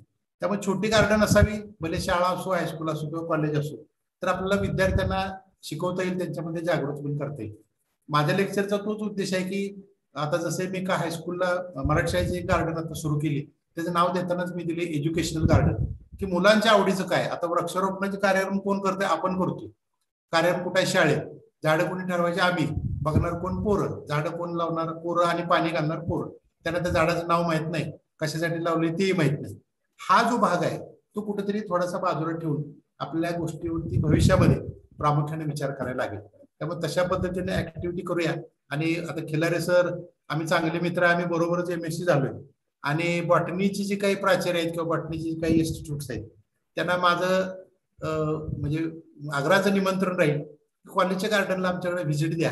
आणि मग तुम्हाला अंदाज येईल की एका बॉटनिकल कॉलेजच्या बॉटनिकल गार्डनमध्ये सुद्धा बऱ्याच गोष्टी करता येतात. आता मी बावीस वेळा परदेशी गेलो. माझ्याकडचं भांडवल काय? ही बॉटॅनिकल गार्डन ह्या गार्डनमध्ये मी केलेलं काम जे रेटरी बुद्रुक सांगताना माझ्या नाक्यानं येतं की बुद्रुक म्हणजे काय? कारण त्याला कळत नाही हे कुठलं नाव आहे. ती अडचण येत नाही. म्हणजे आपलं केलेलं काम हे इन्व्हायटेड म्हणून जाताना त्या गोष्टी अडचणीच्या होत नाही त्यामुळे हे अशा गोष्टी आपण केल्या तर आपला एक छोटासा हातभार लागेल असं मी समजतो. आणि शेवटी एक कोट करतो वाक्य जे रवींद्रनाथ टागोरांचं आहे की fool sorry the clever bet the wise enter through garden gate म्हणजे जो शहाणा असेल तो बरोबर गार्डन गेटमध्ये जाऊन थांबतो आणि त्याचं डोकं शांत होतं. परत एकदा संयोजकाचे मी आभार मानतो. आणि खिलारे सर प्राचार्य आमचे चांगले मित्र जवळचे त्यांचे आभार मानतो. खूप चांगल्या पद्धतीचं फक्त नुसती गार्डन दाखवली नाही. तर गार्डन आपापल्या परीनं घरामध्ये असेल किंवा आपल्या महाविद्यालयामध्ये असेल उभी केली पाहिजे. आणि त्याचं काय समाधान असतं किंवा इतर लोकांनी गार्डन डेव्हलप केलेले आहेत स्वतःपेक्षा इतरांचं कॉन्ट्रीब्युशन त्याच्यामध्ये त्यांनी कुठल्या पद्धतीने घेतलेलं आहे या सगळ्या गोष्टी आपण आपल्या भाषणामध्ये आणि आपल्या ह्या व्याख्यानामध्ये सर्वांना दिलेल्या आहेत. बरेच वनस्पतीशास्त्रा मध्ये अशा ज्या गार्डन डेव्हलप झालेल्या आहेत त्याच्यामध्ये ऍस्थेटिक सेन्स असणारी आणि सेन्स ऑफ ह्युमर असणाऱ्या काही लोकांची आपण माहिती आम्हाला दिली. की काही कविता म्हणजे काही कवी आहेत म्हणजे जसं भारतामध्ये सुद्धा म्हणजे आपल्या ओल्ड लिटरेचरमध्ये कालिदास हा निसर्गप्रेमी होता. आणि कालिदासानं वेस्टर्न घाटाचं वेस्टर्न घाट कवितेमधून स्वतःच्या सांगितलेला आहे. आणि त्यांनी त्या वेस्टर्न घाटाचं वर्णन करताना वेस्टर्न घाटाला कुमारिका असं संबोधलेलं आहे. त्या कुमारिकेचे पाय नर्मदा नदीमध्ये आहेत उत्तरेकडे. आणि अगस्त अगस्त मल्य साऊथकडं त्याचं डोकं आहे. She is clad in pretty असं त्यांनी ते खूप चांगल्या पद्धतीनं वर्णन केलेलं आहे. हिरवाईचं वर्णन करताना ही जी कुमारिका आहे तिनं साडी नेसलेली आहे असं कवितेमध्ये कालिदास म्हणतायत. Her breast near with the fragrance of sandal चंदनाच्या सुवासानं ही सगळी कुमारिका जी आहे ती सगळ्या जगाला फ्रेश करते. असं त्या कालिदासाचं वर्णन बघितल्यानंतर आपल्या डोळ्यासमोर वेस्टर्न घाट येतून वेस्टर्न घाटामध्ये यादव सर असतील आपण असाल खूप काम केलेलं आहे. आपण मगाशी एक खंत व्यक्त केली की भारतामधल्या ज्या काही गार्डन्स आहेत त्याची दुरावस्था आहे. खरं तर ती दुरावस्था कशामुळे आहे? त्याच्यासाठी अनेक गोष्टीची आवश्यकता आहे. त्याला पॉलिटिकल विल असायला पाहिजे. किंवा प्रत्येक बॉटनिस्ट म्हणून प्रत्येकाचं काहीतरी कॉन्ट्रीब्युशन त्याच्यामध्ये असायला पाहिजे. आजच मी इंडियन एक्सप्रेसला जिम कार्बर्टचं एक लेख वाचला. खरं तर जिम कार्बर्ट यांनी डेव्हलप केलेली जी म्युझियम आहे ते म्युझियम हिमालयाच्या पायथ्याला असणाऱ्या नैनिताल या ठिकाणी आहे. जवळजवळ दोनशे वीस स्क्वेअर किलोमीटर इतक्या रिजनमध्ये असणारं हे जिम कार कार्बेट यांचं जे म्युझियम आहे या म्युझियमचं नाव सध्या बदलायचं चाललेलं आहे. त्या अनुषंगानं तो लेख आज इंडियन एक्सप्रेसला आलेला आहे. त्याच्याजवळच जवळजवळ तीनशे एक स्क्वेअर किलोमीटरचा सोना नदी वाईल्ड लाईफ सँक्च्युरी आहे. असं मिळून एक हजार दोनशे अठ्ठ्याऐंशी स्क्वेअर किलोमीटरच्या परिसरामध्ये जे जिम कार्बेट यांच्या नावानं जे म्युझियम आहे ते म्युझियम आपणाला नैनितालमध्ये पाहता येते. ज्याच्यामध्ये जवळजवळ एकशे त्रेसष्ट टायगरचं कॉन्झर्वेशन केलेलं आहे. सहाशे इलेफंट त्याच्यामध्ये आहेत. आणि more than six hundred and fifty बर्ड्सचं collection त्या म्युझियममध्ये किंवा ते प्राणी आपणाला त्या याच्यामध्ये त्या परिसरामध्ये सँक्च्युरीमध्ये आपणाला बघायला मिळत आहेत खरं तर बॉटनिकल गार्डन याच्याकडे पाहण्याचा दृष्टिकोन खूप ऍस्थेटिक सेन्स असायला पाहिजे.